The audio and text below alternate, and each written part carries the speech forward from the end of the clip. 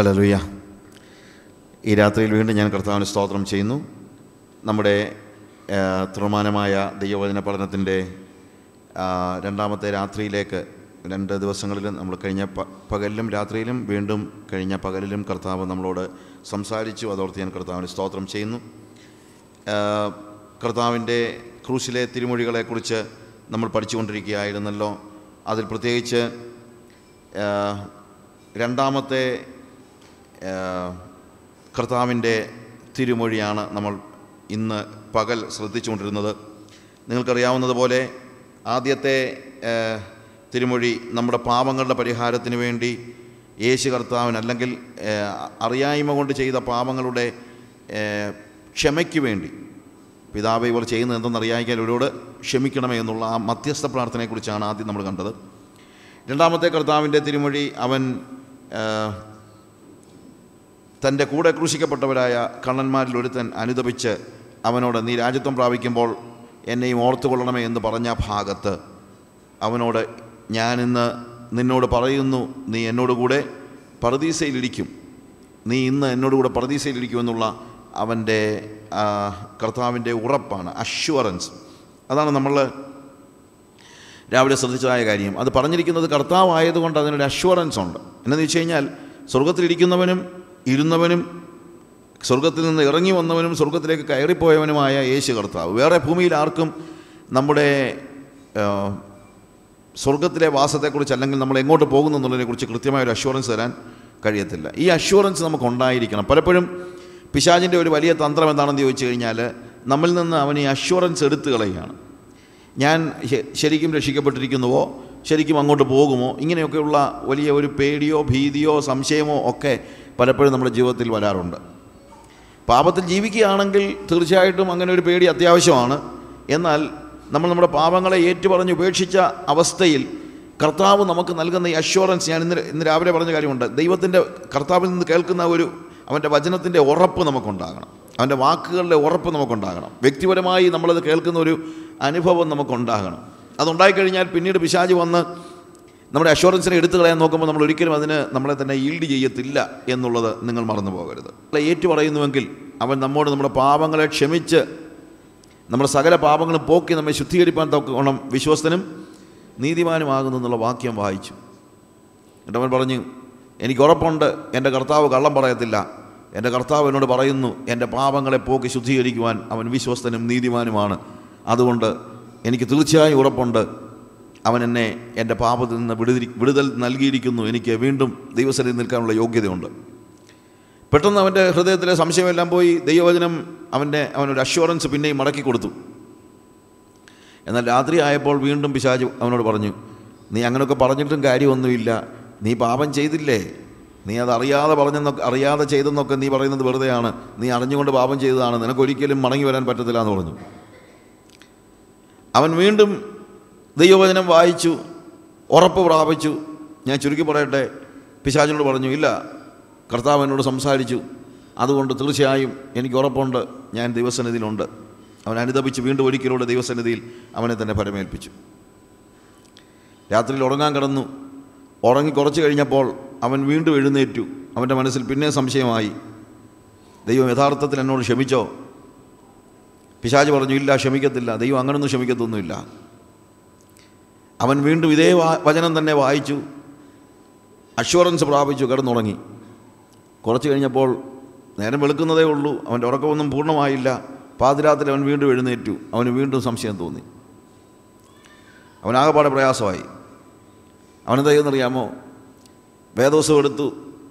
തുറന്ന് യോഹന്നാന്റെ ലേഖനം ഒന്നാം അധ്യായത്തിന്റെ ഭാഗം തുറന്നു വെച്ചു എന്നിട്ട് ഒന്നുകൂടെ വായിച്ചു പ്രാർത്ഥിച്ചു എന്നിട്ട് പിശാചിന് പറഞ്ഞു സാത്താനെ കർത്താവ് എന്റെ പാപങ്ങളെ മോചിച്ചിരിക്കുന്നു എന്നുള്ള അഷുറൻസ് എനിക്കുണ്ട്. അതുകൊണ്ട് എനിക്കിനി യാതൊരു രീതിയിലുള്ള സംശയവുമില്ല. ഞാൻ പാപങ്ങളെ ഏറ്റുപറഞ്ഞാൽ അവൻ എന്റെ പാപങ്ങളെ ക്ഷമിക്കുവാൻ തക്കവണ്ണം വിശ്വസന നീതിവാനുമാണെന്ന് എഴുതിയിരിക്കുന്നു. ഞാനത് പൂർണമായി വിശ്വസിക്കുന്നു. എനിക്ക് നല്ല ഉറപ്പുണ്ട് എന്റെ പാപങ്ങൾ ക്ഷമിക്കപ്പെട്ടെന്ന്. ഇനി നിനക്ക് സംശയം വല്ലതും ഉണ്ടെങ്കിൽ ഞാനിത് തുറന്നു വെച്ചിരിക്കുക. എപ്പോൾ വേണേലും എടുത്ത് വായിക്കാം. എന്റെ പാപങ്ങൾ അവൻ മോചിക്കാൻ ശക് വിശ്വസനും നീതിമാനുമാണെന്നുള്ളത് എനിക്ക് നല്ല ഉറപ്പുണ്ട്. ഞാൻ വായിച്ച് ഉറപ്പ് പ്രാപിച്ചു. ഇനി ഇടയ്ക്കിടയ്ക്ക് എന്നെ ഉറക്കത്തിൽ ശല്യപ്പെടുത്തരുത്. നിനക്ക് എന്തെങ്കിലും സംശയം ഉണ്ടെങ്കിൽ ഇത് തുറന്നു വെച്ചിരിക്കുക. നിനക്കെടുത്ത് വായിക്കുക. ഒരു കഥയായിട്ട് നമുക്ക് തോന്നിയാലും വാസ്തവം പറഞ്ഞാൽ ഒരു അഷ്വറൻസ് ഇല്ലെങ്കിൽ ആ ലൈഫ് ഭയങ്കര കഷ്ടമാണ്. എന്നാൽ നമ്മളങ്ങനെ പേടിക്കേണ്ട കാര്യമില്ല. കാരണം ദൈവത്തിന്റെ കള്ളം കർത്താവ് കള്ളം പറയത്തില്ല. അത് നിങ്ങൾ മനസ്സിലാക്കണം. കർത്താവ് ഒരിക്കലും എന്ത് ചെയ്യത്തില്ല? കള്ളം പറയത്തില്ല. അതുകൊണ്ട് അവൻ നിങ്ങൾക്കൊരു ഉറപ്പ് തന്നാൽ ആ ഉറപ്പ് അവൻ പാലിച്ചിരിക്കും. അതിന് യാതൊരു സംശയമില്ല ആ ക്രൂശിൽ കിടക്കുന്ന കള്ളനോട് കർത്താവ് പറഞ്ഞു ഞാൻ സത്യമായി നിന്നോട് പറയുന്നു. ഇന്ന് നീ എന്നോട് കൂടെ ഇനി അതിന് പകരമായിട്ട് വേറെ ഒന്നും ആലോചിക്കേണ്ട കാര്യമില്ല. His totally his his salvation is totally assured ഇനി അതിനകത്ത് വേറെ യാതൊരു കാര്യങ്ങളും ആവശ്യമില്ല എന്ന് നമുക്ക് കാണാനായിട്ട് പറ്റും. ഞാൻ പറഞ്ഞതുപോലെ രാവിലെ പറഞ്ഞതുപോലെ ഈ കള്ളന്റെ വിശ്വാസം പെട്ടെന്നുള്ള ഒരു മാനസാന്തരമാണല്ലോ അങ്ങനെ വല്ല മാനസാന്തരപ്പെടുമെന്നുള്ള പറ്റുമെന്നുള്ള ആർക്കും സംശയമൊന്നും വേണ്ട. കാരണം ചില മണിക്കൂറുകൾ കൊണ്ട് മാത്രമാണ് അവൻ യേശുവിനെ അറിഞ്ഞതെങ്കിലും ആ യേശുവിനെ അറിഞ്ഞ അവന്റെ വിശ്വാസത്തിന്റെ പ്രാമുഖ്യം ഞാൻ രാവിലെ പറഞ്ഞല്ലോ അവന്റെ മനസ്സിൽ അവന്റെ ചിന്തയിൽ അവന്റെ ജീവിതത്തിൽ എന്തെല്ലാം രൂപാന്തരം ആ ക്രൂശിൽ കിടന്നുകൊണ്ട്. ക്രൂശിൽ കിടന്നുകൊണ്ട് തന്നെ അവൻ അത്രയും കാര്യങ്ങൾ ചെയ്യാൻ കഴിഞ്ഞു എന്ന് നിങ്ങൾ മനസ്സിലാക്കണം. ക്രൂശിൽ കിടന്നുകൊണ്ട് തന്നെ. സി നമുക്ക് ഒരു പക്ഷേ ചിലർ മാനസാന്തരപ്പെടാൻ അല്പം സമയമൊക്കെ എടുത്തേക്കും. പക്ഷേ എല്ലാവരും അങ്ങനെ ആകണമെന്നില്ല. ഒരു നിമിഷം കൊണ്ട് ഒരാൾക്ക് മാനസാന്തരപ്പെടാനും കഴിയും എന്നുള്ളത് നിങ്ങൾ മറന്നു പോകരുത്. എന്നാൽ അങ്ങനെ ഒരു നിമിഷം കൊണ്ട് മാനസാന്തരപ്പെടുമ്പോഴും ഈ പ്രോസസ്സിലൂടെ എല്ലാം നമ്മൾ കടന്നു പോയേ പറ്റുള്ളൂ. ഈ കള്ളന്റെ വിശ്വാസം അത്ര ചെറിയ വിശ്വാസമൊന്നുമല്ല. പലരും പറയുന്നത് പോലെ അവനെന്തോ ചെയ്തു? അവൻ എന്നെ ഓർത്തോണെന്ന് പറഞ്ഞു. അപ്പോൾ തന്നെ അവൻ മാനസാന്തരപ്പെട്ടു. അങ്ങനെ ഓർത്തോണെന്ന് പറഞ്ഞെന്ന് മാത്രമല്ല നമ്മൾ രാവിലെ കണ്ടല്ലോ. അവൻ ദോഷിയാണെന്ന് അവൻ പാപിയാണെന്നുള്ളത് അവൻ സമ്മതിച്ചു. നമ്മൾ ന്യായമായി ശിക്ഷ അനുഭവിക്കുന്നു എന്നുള്ളത് അവൻ പറയുന്നു ഞാനൊരു പാപിയാണ് ഞാനൊരു ദോഷിയാണ് എനിക്കുള്ള ശിക്ഷ ന്യായമായതാണെന്ന് അവൻ സമ്മതിക്കുന്നു. യേശു നിർദോഷിയാണെന്ന് അവൻ പറയുന്നു. അവനോ അരുതാത്തതൊന്നും ചെയ്തിട്ടില്ല. അവൻ നിർദോഷി ആയതുകൊണ്ട് അവൻ എനിക്ക് പകരമായിട്ട് മരിക്കാൻ കഴിയുമെന്ന് അവൻ വിശ്വസിക്കുന്നു. ആ ക്രൂശിന് മുകളിൽ എഴുതിയിരിക്കുന്ന ആ ചെറിയ വാക്ക് യഹൂദൻ നസ്രായനായ യേശു യഹൂദന്മാരുടെ രാജാവെന്നുള്ള വാക്ക് അവൻ പൂർണമായിട്ട് വിശ്വസിച്ചു. അവൻ മഷികയാണെന്ന് അവൻ തിരിച്ചറിഞ്ഞു. അവൻ രാജ്യത്വം പ്രാപിച്ച് മടങ്ങി വരുമെന്നുള്ള പ്രത്യാശ അവനുണ്ടായി. എന്താണ്? ഒരു സാധാരണ ക്രിസ്ത്യാനിക്ക് ആവശ്യമായ എന്ത് ഫെയ്ത്താണ് എന്ത് വിശ്വാസമാണ് ഇവനിൽ ലാക്കിയെന്ന് നിങ്ങളൊന്ന് ആലോചിച്ചേ. ഒന്നുമില്ല. ഒരു വിശ്വാസി നാൽപ്പത് വർഷം കൊണ്ട് അല്ലെങ്കിൽ മു- മുപ്പത് വർഷം മൂന്ന് മണിക്കൂറുകൾ കൊണ്ട് മുപ്പത് വർഷം കൊണ്ട് ഒരാൾ നേടിയെടുക്കേണ്ട വിശ്വാസത്തിന്റെ ആഴം ഈ കള്ളന്റെ മാനസാന്തര സമയത്ത് അവനുണ്ടായി. അവൻ അനുതപിച്ചു അവൻ കരഞ്ഞു. അവൻ പ്രാർത്ഥിച്ചു. അവൻ അപേക്ഷിച്ചു. കരുണയ്ക്ക് വേണ്ടി അപേക്ഷിച്ചു. കർത്താവിനോട് പറയുന്നു ഇന്ന് നീ എന്നോട് കൂടെ പറുദീസയിൽ ഇരിക്കും എന്ന് ഉറപ്പ് നൽകുകയാണ്. നീ എന്നോട് കൂടെ പറുദീസയിൽ ഇരിക്കും. എന്നോട് കൂടെ എന്നുള്ള വാക്ക് നമ്മൾ മറന്നു പോകരുത്. എന്നോട് കൂടെ. എന്നോട് കൂടെ എന്ന് പറയുമ്പോൾ നമുക്ക് ഒറ്റയ്ക്ക് കയറി ചെല്ലാൻ പറ്റുന്ന ഒരു സ്ഥലമല്ല പ്രതീസ നിങ്ങൾ മനസ്സിലാക്കണം. പ്രതീസയെക്കുറിച്ച് പറയുമ്പോൾ പെട്ടെന്ന് നമ്മുടെ മനസ്സിൽ വരുന്നത് ഏതൻ തോട്ടത്തെക്കുറിച്ചാണ്. അതൊരു നമുക്ക് നമ്മുടെ മുമ്പിൽ ഒരു ഒരു സൈനായിട്ട് നമുക്ക് മനസ്സിലാകത്തക്ക നിലയിൽ ദൈവം വിവരിച്ചിരിക്കുന്ന ഒരു കാര്യമാണ്. പ്രതീസയിൽ മനുഷ്യൻ പാപം ചെയ്തു കഴിഞ്ഞപ്പോൾ എന്താ സംഭവിക്കുന്നത്? അവനെ ഏതൻ തോട്ടത്തിന് പുറത്താക്കി. അവിടെ തിരിയുന്ന വാളുകളുമായി ദൈവം എന്താണ്? കാവൽക്കാരെ മാലാഖമാരെ ഏൽപ്പിച്ചിരിക്കുകയാണ് കൃപുകളെ ഏൽപ്പിച്ചിരിക്കുകയാണ്. ആദാമിന് ഒരിക്കലും തിരിച്ചങ്ങോട്ട് മടങ്ങിച്ചെല്ലാൻ പറ്റത്തില്ല. മടങ്ങിച്ചെന്ന് കഴിഞ്ഞാൽ അവനെ വെട്ടി മുറിവേൽപ്പിക്കുവാൻ തീർച്ചയായും ദൈവത്തിന്റെ കൽപ്പന തന്നെ അവർക്കുണ്ട്. സോ സ്വാഭാവികമായി തനിയെ പറുദീസയിലേക്ക് കയറി ചെല്ലാൻ ആർക്കും കഴിയയില്ല എന്ന് നിങ്ങൾ മനസ്സിലാക്കണം. തനിയെ കയറി ചെല്ലാണ്ട് കഴിയത്തില്ല. എന്നാൽ യേശു പറയുന്നത് നീ എന്നോടുകൂടെ പ്രതീക്ഷയിലിരിക്കുമെന്നാണ് എന്താ അതിന്റെ അർത്ഥം? ഞാനങ്ങ് പോവാണ് നീ പുറകെ വന്നേക്കണമെന്നല്ല. ഞാനും നീ ഒരുമിച്ചാണ് പറദീസയിലേക്ക് കടന്നു ചെല്ലുന്നതെന്നാണ് അവിടെ പറയുന്നത്. You are coming with me ഒരുമിച്ച് ചെന്നാൽ ഒരിക്കലും അവനൊരു അപകടം ഉണ്ടാകത്തില്ല. ഇന്ത്യയുടെ രാഷ്ട്രപതി ഭവനിലേക്ക് എനിക്ക് ചുമ്മാ കയറി ചെല്ലാൻ പറ്റത്തൊന്നുമില്ല. പ്രണബ് മുഖർജി ഞാൻ ഇരിക്കുന്ന രാഷ്ട്രപതി ഭവനിലേക്ക് ഞാൻ ചുമ്മാ കയറി ചെന്നാലത്തെ അവസ്ഥ നിങ്ങൾക്കറിയാം. അങ്ങ് കയറി ചെല്ലുന്നതൊന്നും നടക്കുന്ന കാര്യമൊന്നുമല്ല. അതിന് മുമ്പേ നമ്മൾ മിക്കവാറും അരിപ്പയായി പോകും നിങ്ങൾക്കറിയാമല്ലോ. ചുമ്മാ അങ്ങോട്ട് കയറി ചെന്നാൽ പോകാൻ കയറി സ്റ്റെൻകണ്ടിന്റെ ഒച്ച മാത്രമേ നമ്മൾ പിന്നെ കേൾക്കത്തുള്ളൂ. വേറെ ഒന്നും കേൾക്കാൻ കാണത്തില്ല. ഞാൻ തനിയെ കയറി ചെന്നാലുള്ള അവസ്ഥ അതാണ്. എന്നാൽ അതേസമയം പ്രണാബ് മുഖർജി എന്നെ വിളിച്ചിട്ട് come on Saju come with me എന്ന് പറഞ്ഞ് എന്റെ കയ്യെ പിടിച്ചുകൊണ്ട് കയറിക്കൊണ്ട് പോയാൽ ആരെങ്കിലും എന്റെ നേരെ വെടിയുണ്ടേ ഉതിർക്കുമോ? ഇല്ല. ഇതാണ് നമ്മൾ പർദീസയിലേക്ക് പോകാനുള്ള ഏക മാർഗം. ആരെങ്കിലും തനിയെ അങ്ങോട്ട് പോകണമെന്ന് പരിശ്രമിച്ചാൽ നടക്കത്തില്ല. എന്നാൽ പ്രസിഡന്റിന്റെ കൈപിടിച്ചുകൊണ്ട് ഒരാൾ രാഷ്ട്രപതി ഭവനിലേക്ക് കയറി ചെന്നാൽ ആർക്കും ഒന്നും ചെയ്യാനും കഴിയില്ല. ഇതുപോലെ തനിയെ അവിടോട്ട് കയറി ചെല്ലാൻ നിങ്ങളുടെ പ്രവൃത്തികളുമായി നിങ്ങളുടെ മതവുമായി നിങ്ങളുടെ ഉപവാസവുമായി നിങ്ങളുടെ പ്രാർത്ഥനയുമായി എന്തുമായിട്ടും ആയിക്കൊണ്ട് നിങ്ങൾ എത്ര ഉപവാസം എടുത്താലും പ്രാർത്ഥന എത്ര പ്രാർത്ഥിച്ചാലും എത്ര ഉപവാസം എടുത്താലും നിങ്ങൾക്ക് തനിയെ അങ്ങോട്ട് കയറി ചെല്ലാൻ പറ്റത്തില്ല. നിങ്ങൾ എത്ര വീരവാദം മുഴക്കിയാലും നിങ്ങൾക്ക് കയറി ചെല്ലാൻ പറ്റത്തില്ല. പർദീസയിലേക്ക് കയറി ചെല്ലാൻ ഒറ്റ മാർഗമേ ഉള്ളൂ. അവന്റെ കൈ പിടിച്ചുകൊണ്ട് പർദീസയിലേക്ക് കയറി പോവുക. വേറെ ഒന്നുമില്ല. യേശു കർത്താവിന്റെ കരങ്ങളെ പിടിച്ച് നാം പർദീസയിലേക്ക് കയറി ചെല്ലുമ്പോൾ ഒരുപക്ഷെ ദൂരെ നിന്ന് നോക്കുമ്പോൾ ആദാം നടന്നു വരുന്നത് പോലെ ഞാനങ്ങോട്ട് നടന്നു ചെല്ലുന്നതായിരിക്കും ദൂതന്മാർ കാണുന്നത് അല്ലെങ്കിൽ കിരുവുകൾ കാണുന്നത്. അവരുടനെ പെട്ടെന്ന് തന്നെ ആ തിരിയുന്ന വാൾ അല്ലെങ്കിൽ ജ്വലിക്കുന്ന വാൾ ആ സ്വില്ലിംഗ് സ്വാഡ് അവരെടുത്തിങ്ങനെ വെട്ടാൻ ഒരുങ്ങി നിൽക്കുമ്പോഴാണ് കാണുന്നത്. ഇയാൾ തനിയല്ല വരുന്നത്. ആരോട് ആരോടെ കൂടെ ഉണ്ട് യേശു കർത്താവിന്റെ കരം പിടിച്ചാണ് വരുന്നത്.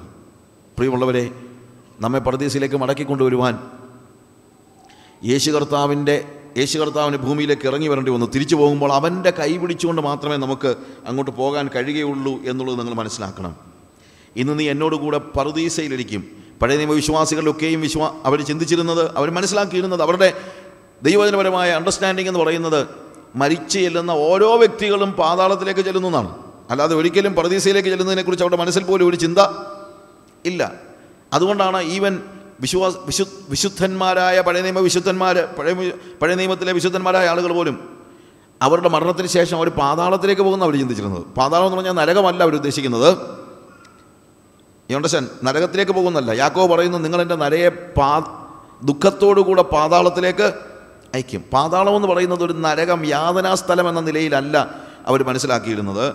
പ്രത്യുത യാതനാസ്ഥലം വേറെ. ഇപ്പോൾ ധനവാനും ലാസറിന്റെയും സ്റ്റോറിയിലാണെങ്കിലും കഥയിലും ധനവാൻ പോകുന്നത് യാതനാ സ്ഥലത്തേക്കാണ്. എന്നാൽ ലാസർ പോകുന്നത് അബ്രഹാമിന്റെ മടി എന്ന് വിളിക്കുന്നതായ ഒരു സ്ഥലത്തേക്കാണ്. അബ്രഹാമിന്റെ മടി എന്നവർ വിളിക്കുന്ന. അതിനെയാണ് അവർ പാതാളം എന്ന് പറഞ്ഞുകൊണ്ടിരുന്നത്. എന്നാൽ ഈ പാതാളത്തിൽ കഴിയുന്നതായ ജനങ്ങൾക്ക് പറുദീസയിലേക്ക് പോകാൻ എന്താണ് മാർഗം? ഇവിടെയാണ് പഴയ നിയമ വിശുദ്ധന്മാർക്ക് വേണ്ടി കൂടെ യേശു കർത്താവ് മരിച്ചു എന്ന് നമ്മൾ പറയുന്നത്. പഴയ നിയമ വിശുദ്ധന്മാർ അവരുടെ മരണത്തിന് ശേഷം ദൈവസംസർഗത്തിന്റെ പൂർണതയിലേക്ക് പ്രവേശിക്കുന്നതിന് മുമ്പ് ദൈവസംസർഗത്തിന്റെ പൂർണതയിലേക്ക് പ്രവേശിക്കുന്നതിന് മുമ്പ് അവർ യാതന സ്ഥലത്തല്ല എന്നാൽ അബ്രഹാമിന്റെ മടി എന്ന് പറയുന്നതായ സ്ഥലത്തായിരിക്കുന്ന ഒരു സാഹചര്യത്തിൽ അവരും നോക്കിയിരിക്കുകയാണ് ഒരു വിടുതലിന് വേണ്ടി. മരിച്ച യേശു കർത്താവ് പാതാളത്തിലേക്കാണ് ഇറങ്ങിച്ചെല്ലുന്നത് നരകത്തിലേക്കല്ല എവിടേക്കാണ്? പാതാളത്തിലേക്ക് ഇറങ്ങിച്ചെല്ലുകയാണ് എന്താ സംഭവിക്കുന്നത് അവിടെ? നമ്മൾ എബ്രാഹിം ലേഖനം രണ്ടാം അധ്യായം വായിക്കുമ്പോൾ എനിക്ക് ഡിസ്ക്രൈബ് ചെയ്യാൻ സമയമില്ല. മറ്റ് പല പല ഭാഗങ്ങളിലും ഞാനത് ഡിസ്ക്രൈബ് ചെയ്തിട്ടുണ്ട്. അതുകൊണ്ട് ഞാനത് പെട്ടെന്നൊന്ന് ഓടിച്ചു പറയുകയാണ്. യേശു കർത്താവ് മരിച്ച് പാതാളത്തിലേക്ക് ഇറങ്ങിച്ചെല്ലുന്നു. അപ്പോൾ സ്വർപ്പത്തിൽ രണ്ടാം അധ്യായത്തിൽ പത്രോസ് പറയുന്നു പാതാളങ്ങൾക്ക് അവനെ അല്ലെങ്കിൽ മരണപാശങ്ങൾക്ക് അവനെ പിടിച്ചു വയ്ക്കുവാൻ കഴിയുമായിരുന്നില്ല. പാതാളത്തിലേക്ക് യേശു കടന്നു ചെന്നപ്പോൾ അന്ന് വരെ പാതാളത്തിന്റെ വാതിൽ അകത്തോട്ട് മാത്രമേ തുറന്നിട്ടുള്ളൂ. ഒരാൾ മരിച്ചു കഴിഞ്ഞാൽ പാതാളത്തിന്റെ വാതിൽ ചില നമ്മുടെ ഫ്ലഷ് ഒക്കെ ഉണ്ടല്ലോ എങ്ങനെയാണ്? അകത്തോട്ട് മാത്രമേ തുറക്കത്തുള്ളൂ. പുറത്തോട്ട് തുറക്കാൻ കഴിയുകയില്ല. Once you are in it is closed അങ്ങനെ പാതാളത്തിൽ വിശുദ്ധന്മാരുടെ സംഘം വരാൻ പോകുന്ന ഒരു വീണ്ടെടുപ്പിന് വേണ്ടി കാത്തുകൊണ്ടിരിക്കുമ്പോൾ യേശു കർത്താവ് മരിച്ച് നേരെ പാതാളത്തിലേക്ക് ഇറങ്ങി ചെല്ലുകയാണ്. പത്രോസ് പറയുന്നു അവൻ മരിച്ചവരോടും സുവിശേഷം പ്രസംഗിച്ചെന്ന് മരിച്ചവരോട് സുവിശേഷം പ്രസംഗിച്ചെന്നുള്ളത് നമ്മൾ മരിച്ച് കഴിഞ്ഞിട്ട് പിന്നെയും രക്ഷിക്കപ്പെടാൻ സാഹചര്യമുണ്ട് അതുകൊണ്ട് മരിച്ചവർക്ക് വേണ്ടി പ്രാർത്ഥിക്കാം എന്നുള്ള അർത്ഥത്തിലല്ല ഉപയോഗിച്ചിരിക്കുന്നത്. അവിടെ മരിച്ചവരോട് സുവിശേഷം തടവിലുള്ളവരോട് സുവിശേഷം പ്രസംഗിച്ചു എന്ന് പത്രോസ് സ്ലിഹ പറഞ്ഞിരിക്കുന്നത് യേശു പാതാളത്തിലേക്ക് ചെന്ന് അവിടെ എഴുതിയിരിക്കുന്നത് ഹീ പ്രൊക്ലെയിംഡ് വിക്ടറി അവൻ ചെന്ന് പഴയ നിയമ വിശുദ്ധന്മാരോട് പറഞ്ഞു ഇനി നിങ്ങൾ പാതാളത്തിൽ കഴിയേണ്ട കാര്യമില്ല. ഇതാ ഞാൻ ഇറങ്ങി വന്നിരിക്കുന്നു. നിങ്ങളെ പറുദീസയിലേക്ക് മടക്കിക്കൊണ്ടുപോകുവാൻ ഇനി നിങ്ങൾക്ക് പാതാളത്തിൽ കഴിയേണ്ട കാര്യമില്ല. ഞാൻ മരണത്തെയും പാതാളത്തെയും ജയിച്ചിരിക്കുന്നു എന്ന് ഒരു വിജയപ്രഖ്യാപനം നടത്തിയെന്നാണ് ആ വാക്യത്തിന്റെ അർത്ഥം. യേശു കർത്താവ് തടവിലുള്ള അല്ലെങ്കിൽ പാതാളത്തിലുള്ള പഴയ വിശുദ്ധന്മാരോട് പറഞ്ഞു ഇതാ ഞാൻ പാതാളത്തെ മരണത്തെയും പാതാളത്തെയും വിജയിച്ചിരിക്കുന്നു. എപ്പോഴായാലും രണ്ടാം അധ്യായത്തിൽ മരണപര്യ ജീവപര്യ ജീവപര്യന്തം മരണഭീതിക്ക് അടിമകളായിരുന്ന നമ്മയൊക്കെയും വിടുവിക്കേണ്ടതിന് മരണത്തിന്റെ അധികാരിയായിരുന്ന പിശാചിനെ തോൽപ്പിക്കേണ്ടതിന് യേശു മരണം അനുഭവിച്ചുകൊണ്ട് പാതാളത്തിലേക്ക് ഇറങ്ങിച്ചെന്നു. വേറെ ഒരു മാർഗമില്ലായിരുന്നു പാതാളത്തിൽ പോയ വിശുദ്ധന്മാരായ ആളുകളെ പറദീസിലേക്ക് മടക്കി കൊണ്ടുവരുവാൻ വേറെ ഒരു മാർഗമില്ലായിരുന്നു അവൻ അവിടേക്ക് ഇറങ്ങി ചെന്നേലേ പറ്റുകയുള്ളൂ. അതുകൊണ്ട് യേശു എന്ത് ചെയ്തു? മരിച്ച് നരകത്തിലേക്ക് പോയെന്നാരും ചിന്തിക്കരുത്. പഴയ നിയമവിശുദ്ധന്മാരുടെ വിശ്രമസ്ഥലമായ പാതാളത്തിലേക്ക് അവൻ ഇറങ്ങിച്ചെന്നു. എന്നാൽ സംഭവിക്കുന്ന എന്താണ്? പാതാളങ്ങൾക്ക് മരണപാശങ്ങൾക്ക് അവനെ പിടിച്ചു വയ്ക്കാൻ കഴിഞ്ഞില്ല. നമുക്കറിയാമല്ലോ നമ്മൾ എന്തെങ്കിലും ഒരു ഭക്ഷണം ദഹിക്കാത്ത ഒരു ഭക്ഷണം കഴിച്ചു കഴിഞ്ഞാൽ കുറച്ച് കഴിയുമ്പോൾ എന്ത് സംഭവിക്കുന്നു? നമ്മൾ ഛർദ്ദിച്ച് കളയും. നാച്ചുറലി നമ്മൾ ഛർദ്ദിച്ച് കളയും. ഇല്ലേ? എന്ന് പറഞ്ഞതുപോലെ യേശു പാതാളത്തിന് ദഹിക്കാത്ത ഒരു ഭക്ഷണമായിരുന്നു. മനസ്സിലാക്കണം ഞാൻ പറയുന്നത്. യേശു പാതാളത്തിന് ദഹിക്കാത്ത ഒരു ഭക്ഷണമാണ്. കുറച്ച് കഴിഞ്ഞപ്പോൾ പാതാളത്തിന് ഇരിക്കപ്പെടുകയില്ല. ഛർദ്ദിച്ച് കളഞ്ഞാലേ പറ്റുകയുള്ളൂ. കാര്യം പാതാളത്തിന് യേശുവിനെ പിടിച്ചു വയ്ക്കുവാൻ കഴിയുകയില്ല. അതുകൊണ്ട് യേശു പുറത്ത് പോയി പുറത്ത് പോകേണ്ടി വന്നു. പോകേണ്ട അല്ലാതെ ഒന്നും പാതാളത്തിനൊന്നും ചെയ്യാൻ പറ്റുന്നില്ല. കാര്യം യേശുവിനെ ഉൾക്കൊള്ളുവാൻ പാതാളത്തിന് കഴിയുകയില്ല. അതുകൊണ്ട് യേശു പുറത്തേക്ക് പോയി. പുറത്തേക്ക് പോയപ്പോൾ അവൻ ചെയ്തതെന്നറിയാമോ ഇന്നുവരെയും പുറത്തേക്ക് തുറന്നിട്ടില്ലാത്ത കഥ അവൻ വലിച്ച് പുറത്തോട്ട് തുറന്നു. എന്നിട്ട് അതുവരെയും ആദാമിന്റെ കാലം മുതൽ യേശുവിന്റെ കാലം വരെയുള്ള സകല വിശുദ്ധന്മാരോട് പറഞ്ഞു now it is freedom for you ഇതാ നിങ്ങൾക്ക് സ്വാതന്ത്ര്യം. ഞാനിതാ പാതാളത്തിന്റെയും മരണത്തിന്റെയും വാതിലുകൾ തുറന്നു പിടിച്ചിരിക്കുകയാണ്. You can you can release you can be released അതാണ് അവൻ മരിച്ചവരോട് പോയി സുവിശേഷം പ്രസംഗിച്ചെന്ന് പറയുന്നത്. അല്ലാതെ നമ്മൾ മരിച്ചു കഴിഞ്ഞിട്ട് പിന്നീട് വീണ്ടും നമുക്ക് രക്ഷിക്കപ്പെടുവാനുള്ള ഒരു സാഹചര്യം ഉണ്ടെന്നുള്ള വാദം വേദപുസ്തകത്തിന്റെ അടിസ്ഥാനത്തിലുള്ളതല്ല. ഒരുവൻ അവനവൻ ശരീരത്തിരിക്കുമ്പോൾ ചെയ്യുന്നത് നല്ലതാകിലും തീയതാകിലും അതിന് തക്കവണ്ണം പ്രാപിക്കേണ്ടതിന് നാം ഒക്കെയും ദൈവത്തിന്റെ സിംഹാസനം മുമ്പാകെ നിൽക്കേണ്ടതാകുന്നു. അല്ലാതെ മരിച്ചു കഴിഞ്ഞിട്ട് വേറൊരു സ്ഥലത്ത് ചെന്നിട്ട് പിന്നെ ആരെങ്കിലും പ്രാർത്ഥിച്ച് മുകളിലോട്ട് കയറ്റാമെന്ന് ആരും ചിന്തിക്കണ്ട. അത് വേദപുസ്തകത്തിന്റെ സിസ്റ്റമല്ല ആ വേദപുസ്തകം പഠിപ്പിക്കുന്ന കാര്യമല്ല. എന്നാൽ യേശു കർത്താവ് അവൻ മരിക്കുന്നതിന് മുമ്പ് പാതാളത്തിൽ പോയ സകല പഴയ വിശുദ്ധന്മാരെയും ഒരു നിമിഷം കൊണ്ട് പാതാളത്തെ എം ടി ചെയ്തിട്ട് അവൻ പറുദീസയിലേക്ക് കൊണ്ടുപോവുകയാണ്. ഇതാണ് വാസ്തവത്തിൽ വേദപുസ്തകത്തിന്റെ അടിസ്ഥാനത്തിൽ യേശു കർത്താവിന്റെ മരണം കൊണ്ട് പഴയ നിയമവിശുദ്ധന്മാർക്കുണ്ടാകുന്നതായ ഗുണം. അപ്പോൾ യേശു മരിച്ചപ്പോൾ നമ്മൾ ഇന്ന് യേശുവിനെ പുറകോട്ട് നോക്കി രണ്ടായിരം വർഷങ്ങൾക്ക് മുമ്പ് മരിച്ചവനായ യേശുവിനെ നമ്മൾ പുറകോട്ട് നോക്കിയാണ് രക്ഷ പ്രാപിക്കുന്നതെങ്കിൽ പഴയ നിമിഷുദ്ധന്മാർക്കും രക്ഷ പ്രാപിക്കാനായിട്ട് വേറെ മാർഗമൊന്നും ഉണ്ടായിരുന്നില്ല. പഴയ നിമിഷുദ്ധന്മാർ യേശുവിനെ മുൻപോട്ട് നോക്കി രക്ഷ പ്രാപിച്ചു. അത്രയും വ്യത്യാസമേ ഉള്ളൂ. രണ്ടായിരം വർഷം മുമ്പ് മരിച്ച യേശുവിനെ അവന്റെ മരണത്തെ നമ്മൾ ഇന്ന് എങ്ങോട്ട് നോക്കുന്നു? നമ്മളിപ്പോൾ പുറകോട്ട് നോക്കുകയാണ് ടു തൗസൻഡ് ഇയേഴ്സ് എഗോ രണ്ടായിരം വർഷം മുമ്പ് എനിക്ക് വേണ്ടി മരിച്ചവനായ യേശു അവൻ എന്നെ വീണ്ടെടുക്കുന്നു. എന്നാൽ പഴയ വിശുദ്ധന്മാരെ അങ്ങോട്ട് നോക്കുന്നു. അബ്രഹാമും മറ്റു ഒരു പക്ഷേ നോക്കിയിട്ട് പറയും രണ്ടായിരം വർഷങ്ങൾക്ക് ശേഷം മരിക്കുവാനുള്ള എന്റെ വീണ്ടെടുപ്പുകാരനായ യേശു. യേശു ആരുടെയൊക്കെ വീണ്ടെടുപ്പുകാരനാണ്? പുതിയ നിയമത്തിലെ ആളുകളുടെ മാത്രം വീണ്ടെടുപ്പുകാരനല്ല യേശു എല്ലാവരുടെയും വീണ്ടെടുപ്പുകാരനാണ്. എല്ലാവരുടെയും യേശുവിന്റെ മരണം കൂടാതെ ഭൂമിയിൽ ജനിച്ച് മരിച്ച് അടക്കപ്പെട്ട ഒരു വ്യക്തിക്കും ഒരു കാരണവശാലും വീണ്ടെടുപ്പില്ല. പഴയ നിമിഷത്തന്മാർക്കുമില്ല പുതിയ നിയമ വ്യക്തികൾക്കുമില്ല. സകല മനുഷ്യരുടെയും പാപങ്ങളുടെ പരിഹാരത്തിന് വേണ്ടിയാണ് യേശു കർത്താവ് മരിച്ചത്. യേശുവിന്റെ മരണത്തിന് ശേഷമുള്ളവർക്ക് വേണ്ടി മാത്രമല്ല യേശുവിന്റെ മരണത്തിന് മുമ്പുള്ളവർക്കും ആദാം മുതൽ ഇങ്ങോട്ടുള്ള സകല മനുഷ്യവർഗത്തിനും വേണ്ടിയാണ് യേശു കർത്താവ് കാൽവറി ക്രൂശിൽ തന്റെ ജീവനെ നൽകി നമ്മെ വീണ്ടെടുക്കുവാൻ അത് പഴയ നിമിഷത്തന്മാരെയും പുതിയ നിമിഷത്തന്മാരെയും ഒരുപോലെ വീണ്ടെടുക്കുവാൻ. അതുകൊണ്ട് യേശുവിന് മുമ്പ് മരിച്ച സകല വ്യക്തികൾക്കും വിശുദ്ധന്മാരായി ജീവിച്ച സകല വ്യക്തികൾക്കും യേശുവിന്റെ മരണത്തെ മുൻകൂട്ടി കണ്ട സകല വ്യക്തികൾക്കും വിശ്വാസത്താൽ അബ്രഹാം ഉൾപ്പെടെയുള്ള എല്ലാവരും വിശ്വാസത്താൽ കർത്താവുമായി പിതാവുമായി ആക്സസ് ഉള്ള ഒരു അവസ്ഥയിലേക്ക് അവന്റെ സാന്നിധ്യത്തിലേക്ക് ചേർക്കപ്പെടുന്നതാണ് നമ്മൾ കാണുന്നത്. ഞാൻ ഇടയ്ക്ക് ഈ കാര്യം ഒന്ന് എടുത്തു പറഞ്ഞെന്നുള്ളതേ ഉള്ളൂ. ഇന്ന് നീ എന്നോട് കൂടെ പറുദീസയിൽ ഇരിക്കും. അവന്റെ കൂടെ നമ്മൾ കയറി ചെല്ലുന്നതായ ഒരു അവസ്ഥ. മൂന്നാമത്തെ തിരുമൊഴിയിലേക്ക് നമുക്ക് കടന്നു വരാൻ സമയമായി. ഞാൻ വളരെ വിശാലമായി പഠിപ്പിക്കേണ്ടതായ ഒരു കാര്യത്തെ വളരെ എന്താണ് പെട്ടെന്ന് പറഞ്ഞതേ ഉള്ളൂ. ആർക്കെങ്കിലും എന്തെങ്കിലും കാര്യത്തിൽ അക്കാര്യത്തിൽ സംശയം ഉണ്ടെങ്കിൽ നമുക്ക് സംസാരിക്കാനുള്ള അവസരമുണ്ട്. ഓക്കെ. ശരി മൂന്നാമത്തെ തിരുമൊഴിയിലേക്ക് നമുക്ക് കടന്നു വരാം. യോഹന്നാന്റെ സുവിശേഷം പത്തൊൻപതാം അധ്യായത്തിന്റെ ഇരുപത്തി അഞ്ച് മുതൽ ഇരുപത്തിയേഴ് വരെയുള്ള വാക്യങ്ങളാണ് നമ്മൾ മൂന്നാമത്തെ തിരുമൊഴിയായി കാണുന്നത്. അവിടെ ക്രൂശിന്റെ ചുവട്ടിൽ നമ്മൾ ഇവിടെ യോഹന്നാന്റെ സുവിശേഷത്തിൽ നമ്മൾ കാണുന്നത് അഞ്ച് പേരെയാണ്. ക്രൂശിന്റെ ചുവട്ടിൽ നമ്മൾ കാണുന്നത്. അതിനു മുമ്പ് ഒരുപക്ഷെ ഒത്തിരി ആളുകൾ അവന്റെ അവന്റെ പിന്നാലെ വന്നിട്ടുണ്ടെങ്കിലും ഞാൻ ഇന്നലെ ഓർപ്പിച്ചതുപോലെ ക്രൂശിലേക്ക് അടുക്കും തോറും ആളുകളുടെ അംഗസംഖ്യ കുറഞ്ഞുകൊണ്ടിരിക്കുകയാണ്. ഹോസന്ന പാടുന്ന സമയത്ത് ഓൾമോസ്റ്റ് ജെറുസലേമിലെ മുഴുവൻ ആളുകളും അവന്റെ കൂടെ ഉണ്ടായിരുന്നു. അതിനുശേഷം വിസ്താര സമയത്തും കുറച്ച് ആളുകളൊക്കെ ഉണ്ടായിരുന്നു. വീതിയിലൂടെ അവൻ ക്രൂശ് എടുത്തുകൊണ്ട് നടക്കുമ്പോൾ കുറച്ച് ആളുകൾ അവന്റെ കൂടെ ഉണ്ടായിരുന്നു. സ്ത്രീകൾ അവനെ അവന്റെ അവനെ കണ്ട് കരഞ്ഞ് വിലപിക്കുമ്പോഴാണ് യേശുനെയും പുത്രിമാരെ നിങ്ങൾ എന്നെ ചൊല്ലി കരയണ്ട എന്ന് യേശു പറയുന്നത്. എന്നാൽ ക്രൂശിന്റെ ചുവട്ടിൽ വന്നപ്പോഴത്തേക്ക് നമ്മൾ കാണുന്നത് പ്രധാനമായും അഞ്ച് അഞ്ച് പേരെയാണ് നമ്മൾ കാണുന്നത്. വേഴ്സ് ട്വന്റി ഫൈവ് യേശുവിന്റെ ക്രൂശിനരികെ അവന്റെ അമ്മയും അമ്മയുടെ സഹോദരിയും ക്ലയോപ്പാവിന്റെ ഭാര്യ മറിയയും മഗ്നലക്കാരത്തി മറിയയും നിന്നിരുന്നു.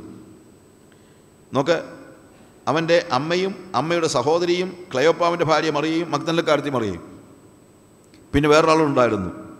അവന്റെ ശിഷ്യനായിരുന്ന യോഹന്നാൻ. യേശു തന്റെ അമ്മയും താൻ സ്നേഹിച്ച ശിഷ്യനും നിൽക്കുന്നത് കണ്ടിട്ട് താൻ സ്നേഹിച്ച ശിഷ്യനാരാണ് യോഹന്നാൻ. നിൽക്കുന്നതും കണ്ടിട്ട് സ്ത്രീയെ ഇതാ നിന്റെ മകൻ എന്ന് അമ്മയോട് പറഞ്ഞു. പിന്നെ ശിഷ്യനോട് ഇതാ നിന്റെ അമ്മ എന്നും പറഞ്ഞു. ആ നാഴിക മുതൽ ആ ശിഷ്യൻ അവളെ തന്റെ വീട്ടിൽ കൊണ്ടുവന്നു. കൂട്ടിക്കൊണ്ടുവന്നു. കൈക്കൊണ്ടു. നോക്കുക. യേശുവും അവന്റെ മാതാവായ മറിയയും തമ്മിലുള്ള ബന്ധം. ഇത് പലപ്പോഴും നമുക്ക് എന്താണ് മാനുഷികമായി ഇമോഷണലായിട്ടൊക്കെ ചിന്തിക്കാനായിട്ട് ഒത്തിരി സാധ്യതയുള്ള കാര്യങ്ങളാണ്. എന്തായിരുന്നു യേശുവും അവന്റെ അമ്മ മറിയയും തമ്മിലുള്ളതായ ബന്ധം? മറിയ ചെയ്ത കാര്യങ്ങളെക്കുറിച്ച് നമ്മളൊന്ന് ആലോചിച്ചാലേ പറ്റുള്ളൂ. നമ്മൾ ഉദ്ദേശിക്കുക എനിക്ക് I really appreciate Mary for ഞാൻ തീർച്ചയായിട്ടും മറിയയെക്കുറിച്ച് എനിക്ക് ഭയങ്കര ബഹുമാനമുണ്ട്. ബഹുമാനം എന്ന് പറഞ്ഞു കഴിഞ്ഞാൽ നമ്മൾ ഉദ്ദേശിക്കുന്നതിനേക്കാൾ അപമാനം സഹിച്ച ഒരു വ്യക്തിയാണ് മറിയ. യേശുവിനെ ലോകത്തിന് നൽകാൻ വേണ്ടി അവൾ വലിയ അപമാനം സഹിക്കേണ്ടി വന്നിട്ടുണ്ട്. ലൂക്കോസിന്റെ സുവിശേഷം അതിന്റെ ഒന്നാം അധ്യായത്തിൽ മറിയയുടെ അടുത്ത് ദൂതൻ വന്ന് സംസാരിക്കുന്ന ഭാഗം അതിന്റെ ഇരുപത്തി ആറ് മുതൽ മുപ്പത്തിയെട്ട് വരെയുള്ള വാക്യങ്ങളാണ്. നമ്മൾ ചിന്തിക്കുന്നതിനേക്കാൾ നമുക്കൊക്കെ ഒരു പക്ഷേ മറിയയോട് ദൂതൻ സംസാരിച്ചത് ഒരു നല്ല കാര്യമായിട്ട് തോന്നിയേക്കാം. നല്ല കാര്യമായിട്ടെന്ന് പറഞ്ഞു കഴിഞ്ഞാൽ അതിന്റെ കാരണം എന്തോരും വലിയൊരു ഭാഗ്യമാണ് മറിയയ്ക്ക് ഉണ്ടാകാൻ പോകുന്നത് എന്നായിരിക്കും നമ്മൾ ചിന്തിക്കുന്നത്. പക്ഷേ ആ ഭാഗം നമ്മൾ കൃത്യമായിട്ട് വായിക്കുമ്പോൾ അതിന്റെ അവളുടെ മനസ്സിലൂടെ കടന്നു പോകുന്ന വികാരങ്ങളുടെ ഒരു ശരിയായ ഒരു വിവരണമാണ് ലൂക്കോസ് നൽകിയിരിക്കുന്നത് എന്ന് നമുക്ക് മനസ്സിലാക്കാനായിട്ട് കഴിയും. അതിന്റെ ഇരുപത്തിയാറ് മുതൽ ആറാം മാസത്തിൽ ദൈവം ഗബ്രിയൽ ദൂതൻ നേ നസറത്ത് എന്ന ഗലീല പട്ടണത്തിൽ ദാവീദ് ഗ്രഹത്തിലുള്ള യോസഫ് എന്നൊരു പുരുഷനെ വിവാഹം നിശ്ചയിച്ചിരുന്ന കന്യകയുടെ അടുക്കൽ പറഞ്ഞയച്ചു. ആ കന്യകയുടെ പേര് മറിയ എന്നായിരുന്നു. ദൂതൻ അവളുടെ അടുക്കൽ വന്ന് അടുത്ത് ചെന്ന് കൃപ ലഭിച്ചവളെ നിനക്ക് വന്ദനം. കർത്താവ് നിന്നോട് കൂടെ ഉണ്ട് എന്ന് പറഞ്ഞു. അവൾ ആ വാക്ക് കേട്ട് ഭ്രമിച്ചു. ഇതെന്തൊരു വന്ദനം എന്ന് വിചാരിച്ചു. ദൂതൻ അവളോട് മറിയെ ഭയപ്പെടേണ്ട. നിനക്ക് ദൈവത്തിന്റെ കൃപ ലഭിച്ചു. നീ ഗർഭം ധരിച്ചൊരു മകനെ പ്രസവിക്കും. അവനെ യേശു എന്ന് പേർ വിളിക്കണം. അവൻ വലിയവനാകും. അത്യുന്നതിന്റെ പുത്രൻ എന്ന് വിളിക്കപ്പെടും. കർത്താവായ ദൈവം അവന്റെ പിതാവായ ദാവീദിന്റെ സിംഹാസനവന് കൊടുക്കും. അവൻ യാക്കോബ് ഗ്രഹത്തിന് എന്നേക്കും രാജാവായിരിക്കും. അവന്റെ രാജ്യത്തിന് അവസാനം ഉണ്ടാകയില്ല എന്ന് പറഞ്ഞു. മറിയ ദൂതനോട് ഞാൻ പുരുഷനെ അറിയായിക്കാൽ ഇത് എങ്ങനെ സംഭവിക്കും? എന്ന് പറഞ്ഞു. അതിന് ദൂതൻ പരിശുദ്ധാത്മാവ് നിന്റെ മേൽ വരും. അത്യുന്നതിന്റെ ശക്തി നിന്റെ മേൽ നിഴലിടും. ആകയാൽ ഉത്ഭവിക്കുന്ന വിശു വിശുദ്ധ പ്രജ ദൈവപുത്രൻ എന്ന് വിളിക്കപ്പെടും. നിന്റെ ചാർച്ചക്കാരത്തി എലിസബത്തും വാർദ്ധക്യത്തിൽ ഒരു മകനെ ഗർഭം ധരിച്ചിരിക്കുന്നു. മച്ചി എന്ന് പറഞ്ഞവൾക്ക് ഇത് ആറാം മാസം ദൈവത്തിനൊരു കാര്യവും അസാധ്യമല്ലല്ലോ എന്ന് ഉത്തരം പറഞ്ഞു. അതിന് മറിയ ഇതാ ഞാൻ കർത്താവിന്റെ ദാസി നിന്റെ വാക്ക് പോലെ എനിക്ക് ഭവിക്കട്ടെ എന്ന് പറഞ്ഞു. ദൂതൻ അവളെ വിട്ടുപോയി. ഇത് വളരെ കൂളായിട്ട് വായിക്കാൻ നമുക്കൊക്കെ ഇപ്പം പറ്റും. പക്ഷേ എന്താ അവിടെ സംഭവിച്ചത്? ആ സമയത്ത് മറിയുടെ മനസ്സിലൂടെ പോയ വികാരങ്ങൾ എന്തൊക്കെയാണ്? ഇന്ന് നമ്മൾ ചിന്തിക്കുന്നത് പോലെയല്ല അത് നിങ്ങൾ ആദ്യം മനസ്സിലാക്കണം. ഈ മറിയയ്ക്ക് ഇപ്പോൾ എത്ര വയസ്സുണ്ടെന്ന് നമുക്ക് കൃത്യമായിട്ട് അറിയത്തില്ല. മേ ബി അവളുടെ ടീനേജിലായിരിക്കാം ആ കാലയളവിലൊക്കെ ടീനേജിൽ വിവാഹം നിശ്ചയം എന്ന് പറയുന്ന ഒരു കോമൺ കാര്യമാണ്. പതിനേഴോ പതിനെട്ടോ വയസ്സുള്ള ഒരു പെൺകുട്ടി. അവൾക്ക് വിവാഹ നിശ്ചയം ചെയ്തിരിക്കുന്നത് ജോസഫ് എന്ന് പറയുന്ന ഒരു പുരുഷന് വിവാഹ നിശ്ചയം ചെയ്തിരിക്കുകയാണ്. യഹൂദന്മാരുടെ വിവാഹത്തിലെ അല്ലെങ്കിൽ വിവാഹ നിശ്ചയം എന്ന് പറയുമ്പോൾ അത് നമ്മൾ ഉദ്ദേശിക്കുന്നത് പോലെയുള്ള ഒരു വിവാഹ നമുക്കിവിടെ ഉണ്ട് നിശ്ചയമുണ്ട് അല്ലേ? കല്യാണം നിശ്ചയം എന്ന് പറയും. പക്ഷേ കല്യാണ നിശ്ചയം കഴിഞ്ഞാലും സ്വാഭാവികമായി നമ്മൾ ആ പുരുഷനെ തന്നെ വിവാഹം കഴിക്കുന്നെങ്കിലും ഏതെങ്കിലും കാരണവശാൽ എന്തെങ്കിലും പ്രശ്നമുണ്ടെങ്കിൽ കല്യാണത്തിന്റെ അന്ന് രാവിലെ വരെയും വേണമെങ്കിൽ നമുക്ക് ഒഴിയാനുള്ള അവസരമുണ്ട്. അങ്ങനെ കല്യാണത്തിന്റെ ദിവസം രാവിലെ ഒഴിഞ്ഞാലും അത്ര വലിയ അപകടമൊന്നും പറ്റാനില്ല. കാരണം അതുവരെയും ഭാര്യാഭർത്താക്കന്മാരായിട്ടില്ല ഒരു പക്ഷേ കുറച്ച് നാളത്തേക്കൊക്കെ ഒരു പ്രയാസമൊക്കെ ഉണ്ടാകും. എന്നാലും വേറെ ആരെങ്കിലും വന്ന് വിവാഹം കഴിച്ചുകൊണ്ട് പോകും. എന്നാൽ യഹൂദന്മാരുടെ ഇടയിൽ വിവാഹ നിശ്ചയം എന്ന് പറഞ്ഞാൽ വിവാഹത്തിന് തുല്യമാണ്. വിവാഹ നിശ്ചയം കഴിഞ്ഞ സ്ത്രീയെ വിളിക്കുന്നത് തന്നെ ഭാര്യ എന്നാണ്. ഭാര്യയാകാൻ പോകുന്നതല്ല. അതുകൊണ്ടാണ് മത്തായുടെ സുവിശേഷം ഒന്നാം അധ്യായത്തിൽ യോസഫിനോട് പറയുന്നത് നിന്റെ ഭാര്യയായ മറിയെ ചേർത്ത് കൊള്ളുവാൻ നീ ശങ്കിക്കേണ്ടെന്ന് പറയുന്നത്. ഭാര്യയാണ്. എന്നാൽ അവരൊരിക്കലും കൂടി വന്നിട്ടില്ല. അതായത് വിവാഹ നിശ്ചയം കഴിഞ്ഞ് ചില നാളുകൾക്ക് ശേഷം വിവാഹം കഴിച്ച് അതിനുശേഷം മാത്രമേ ഭാര്യയെ കൂട്ടിക്കൊണ്ട് പോകത്തുള്ളൂ. പക്ഷെ അതിനു മുമ്പേ തന്നെ ആരാണ്? ഭാര്യയാണ്. ആ വിവാഹ നിശ്ചയത്തിനും വിവാഹത്തിനും ഇടയ്ക്ക് ഇവളെ ഉപേക്ഷിക്കണമെങ്കിൽ ചുമ്മാതങ്ങ് പോകാനൊന്നും പറ്റത്തില്ല. നിയമപരമായി വിവാഹമോചനം പ്രാപിച്ചാലേ പറ്റുള്ളൂ. അതായത് വിവാഹ നിശ്ചയം കഴിഞ്ഞ ഒരു പുരുഷന് വിവാഹ നിശ്ചയം ചെയ്ത തന്റെ ഭാര്യയെ ഉപേക്ഷിക്കണമെങ്കിൽ നിയമപരമായി ഉപേക്ഷണം നടത്തിയാലേ പറ്റുകയുള്ളൂ. അതുകൊണ്ടാണ് ഞാൻ പറഞ്ഞത്. യോസഫിന് വിവാഹം ആലോചിച്ചിരുന്ന മറിയയുടെ കാര്യം പറയുമ്പോഴത്തേക്ക് നമ്മുടെ നാട്ടിലെ വിവാഹ നിശ്ചയത്തെ പോലെ നമ്മളതിനെ ചിന്തിക്കരുത് എന്ന് പറയാനുള്ള കാര്യം അതാണ്. It's a very serious issue അങ്ങനെയുള്ള ഈ മറിയയുടെ അടുത്തേക്ക് ദൂതൻ വന്ന് കൃപ ലഭിച്ചവളെ നിനക്ക് വന്ദനമെന്ന് പറയുന്നു. അവളിങ്ങനെ വരണ്ടിരിക്കുകയാണ്. ഇതെന്ത് വന്ദനമെന്ന് പറഞ്ഞ് ആശ്ചര്യപ്പെട്ടു. ഉടനെ ദൂതൻ വീണ്ടും പറയുന്നതെന്നറിയാമോ? നീ ദൂതൻ അവളോട് മറിയെ ഭയപ്പെടണ്ട. നിനക്ക് ദൈവത്തിന്റെ കൃപ ലഭിച്ചിരിക്കുന്നു. നീ ഗർഭം ധരിച്ച ഒരു മകനെ പ്രസവിക്കും. അവനെ യേശു എന്ന് പേർ വിളിക്കണം. അവൻ വലിയവനാകും. ഡിസ്ക്രിപ്ഷൻ എല്ലാം ഉണ്ടാകും. എലിസബത്തിന് ആറുമാസം മുമ്പ് ഈ രീതിയിലൊരു വാഗ്ദത്തം ലഭിച്ചപ്പോൾ അവൾ തുള്ളിച്ചാടി കാണും. കാരണം അവളുടെ ജീവിതത്തിൽ ഒരു മകനെ ലഭിക്കുക എന്ന് പറയുന്നത് വലിയൊരു ഭാഗ്യമാണ്. മച്ചി എന്ന് വിളിച്ച് നാട്ടുകാർ മുഴുവൻ എന്താണ് അവളെ കളിയാക്കിയിരുന്ന സാഹചര്യത്തിൽ അവളുടെ എല്ലാ എന്താണ് അവളുടെ നോർമലായിട്ടുള്ള എല്ലാ ഷെയിമും അവസാനിപ്പിച്ചുകൊണ്ട് അവൾക്ക് വലിയ ഒരു സന്തോഷ വാർത്തയാണ് എലിസബത്ത് മകനെ പ്രസവിക്കുമെന്ന് പറയുമ്പോൾ. പക്ഷേ മറിയയുടെ കാര്യത്തിൽ അതല്ല. മറിയയോട് നിനക്കൊരു മകനെ പ്രസവിക്കുമെന്ന് ചോദിച്ചപ്പോൾ സ്വാഭാവികം അവൾ ചോദിച്ച ചോദ്യമുണ്ട് വാട്ട് എന്തായി പറയുന്നത്? I never made a mistake in my life I have never committed a sin in my life ഞാൻ ഒരിക്കലും ഒരു പുരുഷനെ അറിഞ്ഞിട്ടില്ല. എന്തുകൊണ്ടായി പറയുന്നത്? ഇതേ ശബ്ദത്തിലായിരിക്കണം അവൾ ചോദിച്ചത്. കാരണം അവളുടെ ജീവിതത്തിന്റെ മുഴുവൻ തകർച്ചയാണ് അവൾ മുന്നിൽ കാണുന്നത്. അവൾ ഗർഭം ധരിച്ചിരിക്കുന്നു എന്നുള്ള വാർത്ത അറിഞ്ഞു കഴിഞ്ഞാൽ അവളുടെ ജീവിതം തീർന്നു. ഇതൊരു സന്തോഷ വാർത്തയല്ല. മറിയെ സംബന്ധിച്ചിടത്തോളം ഇതൊരു സന്തോഷ വാർത്തയല്ല. മറിയെ സംബന്ധിച്ചിടത്തോളം അവളുടെ ജീവിതത്തിലെ ഏറ്റവും ഞെട്ടിക്കുന്ന ഒരു ദുരന്ത വാർത്തയായിട്ട് സ്വാഭാവികമായി അവൾക്ക് ചിന്തിക്കാൻ കഴിയത്തുള്ളൂ. അതുകൊണ്ട് അവൾ ചോദിക്കുകയാണ് ഞാൻ എന്ത് തെറ്റ് ചെയ്തിട്ടാണ് എന്നെ നീ എന്നോട് നീ ഇത് പറയുന്നത്? ഞാൻ ഒരിക്കലും ഒരു പുരുഷനെ അറിഞ്ഞിട്ടില്ല. How can you say that I am bearing a child ഞാൻ പറയുന്ന സാഹചര്യം മനസ്സിലാക്കണം.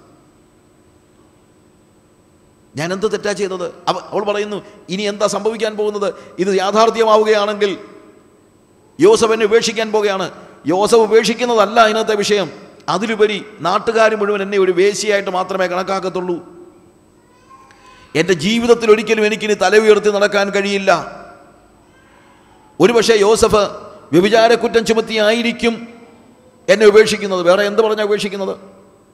യോസഫിനോട് ദൂതൻ ചെന്ന് സംസാരിക്കുമ്പോൾ ആ സാഹചര്യം നിങ്ങൾക്കറിയാമല്ലോ. അവൻ അവളെ രഹസ്യമായി ഉപേക്ഷിക്കാൻ തയ്യാറെടുത്തിരിക്കുകയാണ്. എന്താണ് രഹസ്യമായി ഉപേക്ഷിക്കുക എന്ന് പറഞ്ഞു കഴിഞ്ഞാൽ രഹസ്യമായ ഉപേക്ഷണവും പരസ്യമായ ഉപേക്ഷണവും തമ്മിൽ ഒറ്റ വ്യത്യാസമേ ഉള്ളൂ. രഹസ്യമായ ഉപേക്ഷണത്തിൽ എന്തുകൊണ്ട് ഉപേക്ഷിക്കുന്നു എന്ന് കാരണം പറയുന്നില്ല. പരസ്യമായ ഉപേക്ഷണത്തിൽ എന്തുകൊണ്ടാണ് ഉപേക്ഷിക്കുന്നതെന്ന് കാരണം പറയാം. ഉപേക്ഷിക്കാനൊരു കാരണം യോസഫിന് പറയാൻ ഒരു പ്രയാസവുമില്ല കാരണം എന്താണ്? ഞാൻ വിവാഹ നിശ്ചയം ചെയ്തിരുന്ന എന്റെ ഭാര്യ മറിയ ഇപ്പോൾ ഗർഭിണിയാണ്. അവൾ വ്യഭിചാരം ചെയ്തു. അവൾ ഒരു പുരുഷനുമായി ബന്ധപ്പെട്ടു. എനിക്ക് അവളെ വേണ്ട. മോശയുടെ ന്യായപ്രമാണം അനുസരിച്ച് യോസഫിന്റെ കാര്യം ക്ലീൻ. യാതൊരു പ്രയാസവുമില്ല. വേദവസത്തിലെ കഥാപാത്രങ്ങളെക്കുറിച്ചൊക്കെ ആലോചിക്കുമ്പോൾ എനിക്ക് ഭയങ്കര ബഹുമാനം തോന്നാറുണ്ട്. എന്നാൽ യോസഫ് നീതിമാനാകൊണ്ട് അവനോട് രഹസ്യമായിട്ട് ഉപേക്ഷിക്കാൻ തീരുമാനിച്ചു. രഹസ്യമായിട്ട് ഉപേക്ഷിച്ചാലുള്ള പ്രത്യേകത എന്താണെന്നറിയാമോ? രഹസ്യമായി ഉപേക്ഷിക്കുമ്പോൾ കാരണം പറയുന്നില്ല. കാരണം പറയാതെ അവളെ ഉപേക്ഷിച്ച് കഴിഞ്ഞാൽ നാട്ടുകാരൊക്കെ ചോദിക്കുന്നൊരു ചോദ്യമുണ്ട്. യോസഫ് നീ എന്താ കല്യാണം കഴിക്കാത്തത്? മറിയെ അവിടെ നോക്കിയിരിക്കുകയല്ലേ? ആ ഇനി ഞാൻ കല്യാണം കഴിക്കുന്നതിന് തീരുമാനിച്ചു. എന്താ കാരണം? അല്ല കാരണമൊന്നുമില്ല. കാരണമൊന്നുമില്ലെന്ന് ഇവൻ പറഞ്ഞാൽ നാട്ടുകാർ കാരണം കണ്ടുപിടിക്കും. നാട്ടുകാരെന്ത് പറയും? ആ അപ്പോൾ അതാ കാര്യമല്ലേ? അവൾ ഗർഭിണിയല്ലേ? ശരി. എടാ എന്തായി കാണിച്ചത്? ആ പാവം പിടിച്ച നാട്ടുകാർ ചിന്തിക്കുന്നത് എന്താണ്? യോസഫ് വിവാഹം കഴിഞ്ഞ് അവളുമായി ബന്ധപ്പെടാൻ ബന്ധപ്പെടാൻ അനുവാദമില്ലാതിരിക്കെ ആ ഭവനത്തിൽ ചെന്ന് മറിയയുമായി ബന്ധപ്പെട്ട് അവൾ ഗർഭിണിയായി അതിനുശേഷമാണ് ഉപേക്ഷിക്കുന്നതെന്നാണ് അല്ലെങ്കിൽ അവൻ കാരണം പറയുമല്ലോ. കാരണം പറയാതിരിക്കാൻ എന്താണ് കാരണം? ഇതിന്റെ ഉത്തരവാദി യോസഫ് തന്നെയാണ്. അല്ലാതെ വേറെ ഒരു കാരണവും നാട്ടുകാർക്ക് കണ്ടുപിടിക്കാൻ കഴിയില്ല. അപ്പോൾ മുതൽ യോസഫിനെ ആളുകൾ നോക്കുന്നത് എങ്ങനെയായിരിക്കും എന്നറിയാമോ? വഞ്ചകൻ. ഒരു പാവം പെൺകുട്ടിയുടെ ജീവിതം തൊലച്ചവൻ. ഒരുപക്ഷേ അവന്റെ നാട്ടിലെ മറ്റ് മാതാപിതാക്കളൊക്കെ പറഞ്ഞു കാണും മക്കളോട് ഒരിക്കലും അവന്റെ അടുത്ത് പോകരുത് അവന്റെ കണ്ണിൽ പെടരുതെന്നൊക്കെ പറഞ്ഞു കാണും. അത്രയ്ക്കും ദുഷ്ടനായ ഒരു കഥാപാത്രമായി യോസഫ് തീരുകയാണ് പെട്ടെന്ന്. അതാണ് യോസഫ് നീതിമാനാണെന്ന് പറയാൻ കഴിയും. അവൻ നിയമം നോക്കിയില്ല. നിയമത്തിനപ്പുറത്താണ് നീതി. അവൻ നിയമം നോക്കിയായിരുന്നെങ്കിൽ അവൻ ഈസി ആയിരുന്നു. അവന് ജസ്റ്റ് എന്ന് പറഞ്ഞാൽ മതി. എന്റെ ഭാര്യ ഗർഭിണിയാണ് ഞാൻ ഉത്തരവാദിയല്ല. അവൻ ക്ലീനായനെയും എന്നാൽ അവൻ ക്ലീൻ ആകുമ്പോൾ ഈ പെൺകുട്ടി എങ്ങനെയായിത്തീരും? ഡിഫൈൽഡാണ്. അവളെക്കുറിച്ച് അവളൊരു പരസ്യ കോലമാവുകയാണ് അവിടെ എഴുതിയിരിക്കുന്ന വാക്ക് അവൻ മറിയയെ പരസ്യകോലമാക്കുവാൻ ഇഷ്ടപ്പെടായിക കൊണ്ട്. He never wanted her to become a public example ഒരു പരസ്യകോലമാക്കാൻ നാട്ടുകാരെല്ലാം അവളെ പരസ്യകോലമാക്കുക അല്ലെങ്കിൽ അവളെ അപമാനിക്കുവാൻ ഇഷ്ടമില്ലാഞ്ഞതുകൊണ്ട് മറിയയുടെ അപമാനം ഏറ്റെടുത്ത വ്യക്തിയാണ് യോസഫ്. അതാണ് വാസ്തവത്തിൽ നീതി എന്ന് പറയുന്നത്. എങ്ങനെയുള്ള മറിയ? അവനെ വഞ്ചിച്ച മറിയ. അതല്ലാതെ അവന് വേറെ ഒന്നും അറിയത്തില്ലല്ലോ. ഇത് പരിശുദ്ധാത്മാവിനാലാണെന്നൊന്നും അറിയത്തില്ലല്ലോ അവന് മറിയയെക്കുറിച്ച് അറിയാവുന്ന കാര്യം എന്താണ്? എന്നെ വഞ്ചിച്ച എന്റെ ഭാര്യ. പക്ഷെ വഞ്ചിച്ച ഭാര്യയെ അപമാനിതയാക്കുവാൻ ഇഷ്ടമില്ലാതെ അവളുടെ അപമാനം ഏറ്റെടുത്ത വ്യക്തിയാണ് യോസഫ്. അവിടെയാണ് യോസഫിന്റെ മഹത്വം. അവിടെയാണ് യോസഫ് നീതിമാൻ എന്ന് പറയുന്നത്. എന്താണ് നീതി? മറ്റൊരാൾ ഇത് ചെയ്ത തെറ്റ് ഞാൻ ഏറ്റെടുക്കാൻ തയ്യാറാകുമ്പോഴാണ് ഞാൻ വേദപുസ്തകത്തിൽ ദൈവത്തിന്റെ മുമ്പാകെ നീതിമാനാകുന്നത്. അല്ലാതെ നിയമം അനുസരിക്കുന്നത് കൊണ്ട് മാത്രമല്ല. ഇതാണ് വാസ്തവത്തിൽ യോസഫിന്റെ കാര്യത്തിൽ. മറിയുടെ കാര്യത്തിലോ? അവളുടെ ജീവിതം ആകമാനമായി താറുമാറാവുകയാണ്. അവൾ ചോദിച്ചു എന്ത് ക്രൂരതയാണ് എന്നോട് ഈ പറയുന്നത്? എനിക്കെങ്ങനെ ഇനി മനുഷ്യന്റെ മുഖത്ത് നോക്കാൻ പറ്റും? ഒരുപക്ഷെ നാളെ ഞാൻ കല്ലെറിഞ്ഞ് കൊല്ലപ്പെടാം. നിങ്ങൾക്കറിയുമല്ലോ യഹൂദ നിയമം. ഒരു വേശിയെ കല്ലെറിഞ്ഞ് കൊല്ലാൻ യാതൊരു പ്രയാസവുമില്ല. ആളുകൾ കല്ലെറിഞ്ഞ് കൊല്ലാനായിട്ട് നോക്കി നടക്കുകയാണ് അവരുടെ കപട നീതിബോധം. എന്നാൽ എല്ലാ പൊട്ടിത്തെറികൾക്കും ഒടുവിൽ ദൂതൻ അവളോട് പറഞ്ഞ് കൂൾഡാവും ഞാനതിനെ എന്താ കുറേ കൂടെ ലളിതമായി പറയാണ്. മറിയോട് പറഞ്ഞ് മറിയേ കൂൾഡാവും നീ ഒന്ന് കേക്ക്. നീ ഉദ്ദേശിക്കുന്നത് പോലെയല്ല കാര്യങ്ങൾ. നീ പുരുഷനെ അറിഞ്ഞെന്ന് ഞങ്ങളാരും പറഞ്ഞില്ല. നീ പാപം ചെയ്തെന്ന് പറഞ്ഞില്ല. നീ പാപം ചെയ്തില്ല. നിന്നിൽ ഉൽപ്പാദിതമാകുന്നത് പരിശുദ്ധാത്മാവിനാലാണ് അത്യുന്നതന്റെ അത്യുന്നതന്റെ ശക്തി നിന്റെ മേൽ നിഴലിടും. ആകയാൽ ഉത്ഭവിക്കുന്ന വിശുദ്ധ പ്രജ ദൈവപുത്രൻ എന്ന് വിളിക്കപ്പെടും. നീ പാപം ചെയ്തിട്ടോ മറ്റൊരു പുരുഷനുമായി ബന്ധപ്പെട്ടിട്ടോ അല്ല. ഇതൊരു പരിശുദ്ധാത്മാവിന്റെ പ്രവൃത്തിയാണ്. ആ അത്യുന്നത ശക്തി നിന്റെ മേൽ നിഴലിടും. കാരണം ദൈവത്തിന് ഭൂമിയിൽ ജനിക്കാനായിട്ട് ഒരു ഒരു ഒരു ഗർഭപാത്രം ആവശ്യമുണ്ട്. ദാറ്റ്സ് ഓൾ അവളോട് ഈ കാര്യത്തെ പറഞ്ഞു കഴിഞ്ഞപ്പോൾ അവൾ മുട്ടുകുത്തിയിട്ട് പറയുന്നൊരു ഒരു ഒരു വാക്കാണ് അവിടെ നമ്മൾ കാണുന്നത്. ഓൾ റൈറ്റ് ശരി. ഞാൻ കർത്താവിന്റെ ദാസി. ഞാൻ കർത്താവിന്റെ ദാസി. നിന്റെ വാക്ക് പോലെ എനിക്ക് ഭവിക്കട്ടെ എന്ന് പറഞ്ഞു. ഒരു പക്ഷേ കണ്ണീരോടെ ആയിരിക്കും അവളത് പറഞ്ഞത്. അവൾ പറഞ്ഞ വാക്കിതാണ് ഞാൻ കർത്താവിന്റെ ദാസിയാണ്. കർത്താവിന് എന്റെ മേൽ എനിക്ക് എന്റെ മേൽ എന്തും ചെയ്യാനുള്ള അവകാശമുണ്ട്. ഞാൻ അപമാനിതയാകുവാൻ അവൻ ആഗ്രഹിക്കുന്നെങ്കിൽ ഞാൻ അപമാനിക്കപ്പെടുവാൻ തയ്യാറാണ്. ഞാൻ കല്ലെറിഞ്ഞ് കൊല്ലപ്പെടുവാൻ അവൻ ആഗ്രഹിക്കുന്നുവെങ്കിൽ ഞാനതിന് തയ്യാറാണ്. ദൈവത്തിന് ഒരു കാര്യവും അസാധ്യമല്ലല്ലോ എന്ന് നമ്മൾ എപ്പോഴും ഈ വാക്യത്തെക്കുറിച്ച് പറയാറുണ്ട്. പക്ഷേ ശരിക്കും ആ വാക്യത്തിന്റെ അർത്ഥം ദൈവത്തിന് എന്തും ചെയ്യാനുള്ള അവകാശമുണ്ടല്ലോ എന്നാണ്. ദൈവത്തിന് ഒരു കാര്യവും അസാധ്യമാണെന്നല്ല. ഓഫ് കോഴ്സ് ദൈവത്തിന്റെ ഒരു കാര്യം അസാധ്യമല്ല. പക്ഷെ മറിയയുടെ കാര്യത്തിൽ ശരിക്കും ആ വാക്യത്തിന്റെ അർത്ഥം എന്താണ്? ഗബ്രിയൽ ദൂതൻ പറയുന്ന കാര്യം ഇതാണ്. മേരി നീ ദൈവത്തിന്റെ ദാസിയാണെന്ന് ഓർക്കണം. ദൈവത്തിന് നിന്നെ എന്തും ചെയ്യാനുള്ള അവകാശമുണ്ട്. എന്നാലേ നീ ദൈവത്തിന്റെ ദാസിയാവുകയുള്ളൂ. നിനക്കിഷ്ടമുള്ളതുപോലെ ദൈവം പ്രവർത്തിക്കണമെന്ന് നീ ശഠിച്ചാൽ നീ ദാസിയല്ല. If you want to become a servant a maid അവൾ പറയുന്നത് I am the handmaid of God he can do anything upon me ഞാൻ ഇതാ ഞാൻ കർത്താവിന്റെ ദാസി. ദൈവത്തിന് എന്റെ മേലെ എന്തും ചെയ്യാം. എന്നെ അപമാനത്തിലേക്ക് നയിച്ചു വിടണമെങ്കിൽ അത് അവൻ ആവശ്യം അവനത് ചെയ്യണമെങ്കിൽ ചെയ്യട്ടെ. എന്നെ എന്നെ നശിപ്പിക്കണമെങ്കിൽ അവൻ നശിപ്പിച്ചോട്ടെ. എന്റെ ജീവിതം പോകുന്നെങ്കിൽ പൊക്കോട്ടെ. ഞാൻ ജീവിതകാലം മുഴുവൻ ഒരു വേശിയായി മുദ്ര കുത്തപ്പെടുന്നുവെങ്കിൽ മുദ്ര കുത്തപ്പെടട്ടെ ഇനി അതല്ല കല്ലേറ് കൊണ്ട് മരിക്കണമെങ്കിൽ അത് സംഭവിക്കട്ടെ. എന്ത് വേണമെന്ന് പറയാൻ ഞാൻ ആരാണ്? കർത്താവിന് എന്തും ചെയ്യാമല്ലോ. ഞാൻ കർത്താവിന്റെ ദാസി. മേരിയെക്കുറിച്ച് പറയുമ്പോൾ എനിക്കുള്ള ബഹുമാനം അതാണ്. അപമാനം ഏറ്റെടുക്കാൻ കഷ്ടത ഏറ്റെടുക്കാൻ ദുരന്തം ഏറ്റെടുക്കുവാൻ ഒരുപക്ഷെ മരണം പോലും ഏറ്റെടുക്കുവാൻ അവൾ തയ്യാറായി. എന്തിനു വേണ്ടിയാണെന്നറിയാമോ? നമുക്കൊക്കെ യേശുവിനെ തരാൻ വേണ്ടി. ഒരുപക്ഷെ ഇതേ കാര്യമാണ് ഇന്നും കർത്താവ് നമ്മളോട് ആവശ്യപ്പെടുന്നത്. നമ്മുടെ ചുറ്റുമുള്ളവർക്ക് യേശുവിനെ കൊടുക്കാൻ നമ്മളൊരു പക്ഷെ അപമാനിതരാകേണ്ടി വന്നേക്കാം. നമ്മുടെ ചുറ്റുമുള്ളവർക്ക് യേശുവിനെ കൊടുക്കാൻ ഒരു പക്ഷേ നമ്മുടെ പേര് ഡിഫൈൽഡ് ആകേണ്ടി വന്നേക്കാം. നമ്മുടെ ചുറ്റുമുള്ളവർക്ക് യേശുവിനെ കൊടുക്കാൻ ഒരു പക്ഷേ നമ്മൾ മരണം വഹിക്കേണ്ടി വന്നേക്കാം. ദുരന്തങ്ങളിലൂടെ കടന്നു പോകേണ്ടി വന്നേക്കാം.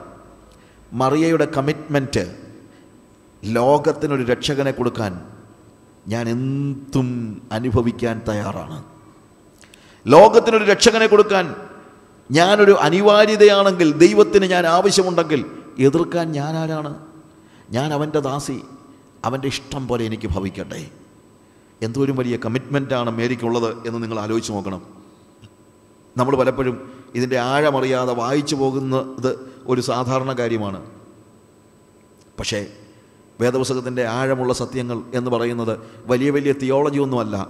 അതിലും അപ്പുറത്ത് ആഴത്തിൽ കിടക്കുന്നത് മനുഷ്യന്റെ ഏറ്റവും ഹൃദയത്തിന്റെ ഉള്ളിലെ അവന്റെ വികാര വിചാരങ്ങളുടെ ആ ദൈവത്തോടുള്ള സ്നേഹത്തിന്റെ അവന്റെ കമ്മിറ്റ്മെന്റിന്റെ ദൈവ മനുഷ്യനോടുള്ള ദൈവത്തോടുള്ള അവന്റെ വിധേയത്വത്തിന്റെ ശരിക്കും ദൈവത്തോടുള്ള വിധേയത്വത്തിന്റെ സറണ്ടറിങ് ആണ്. അവൻ സമർപ്പിക്കുകയാണ്. വീണ്ടും നമ്മളൊന്ന് ആലോചിച്ച് നോക്കിയേ.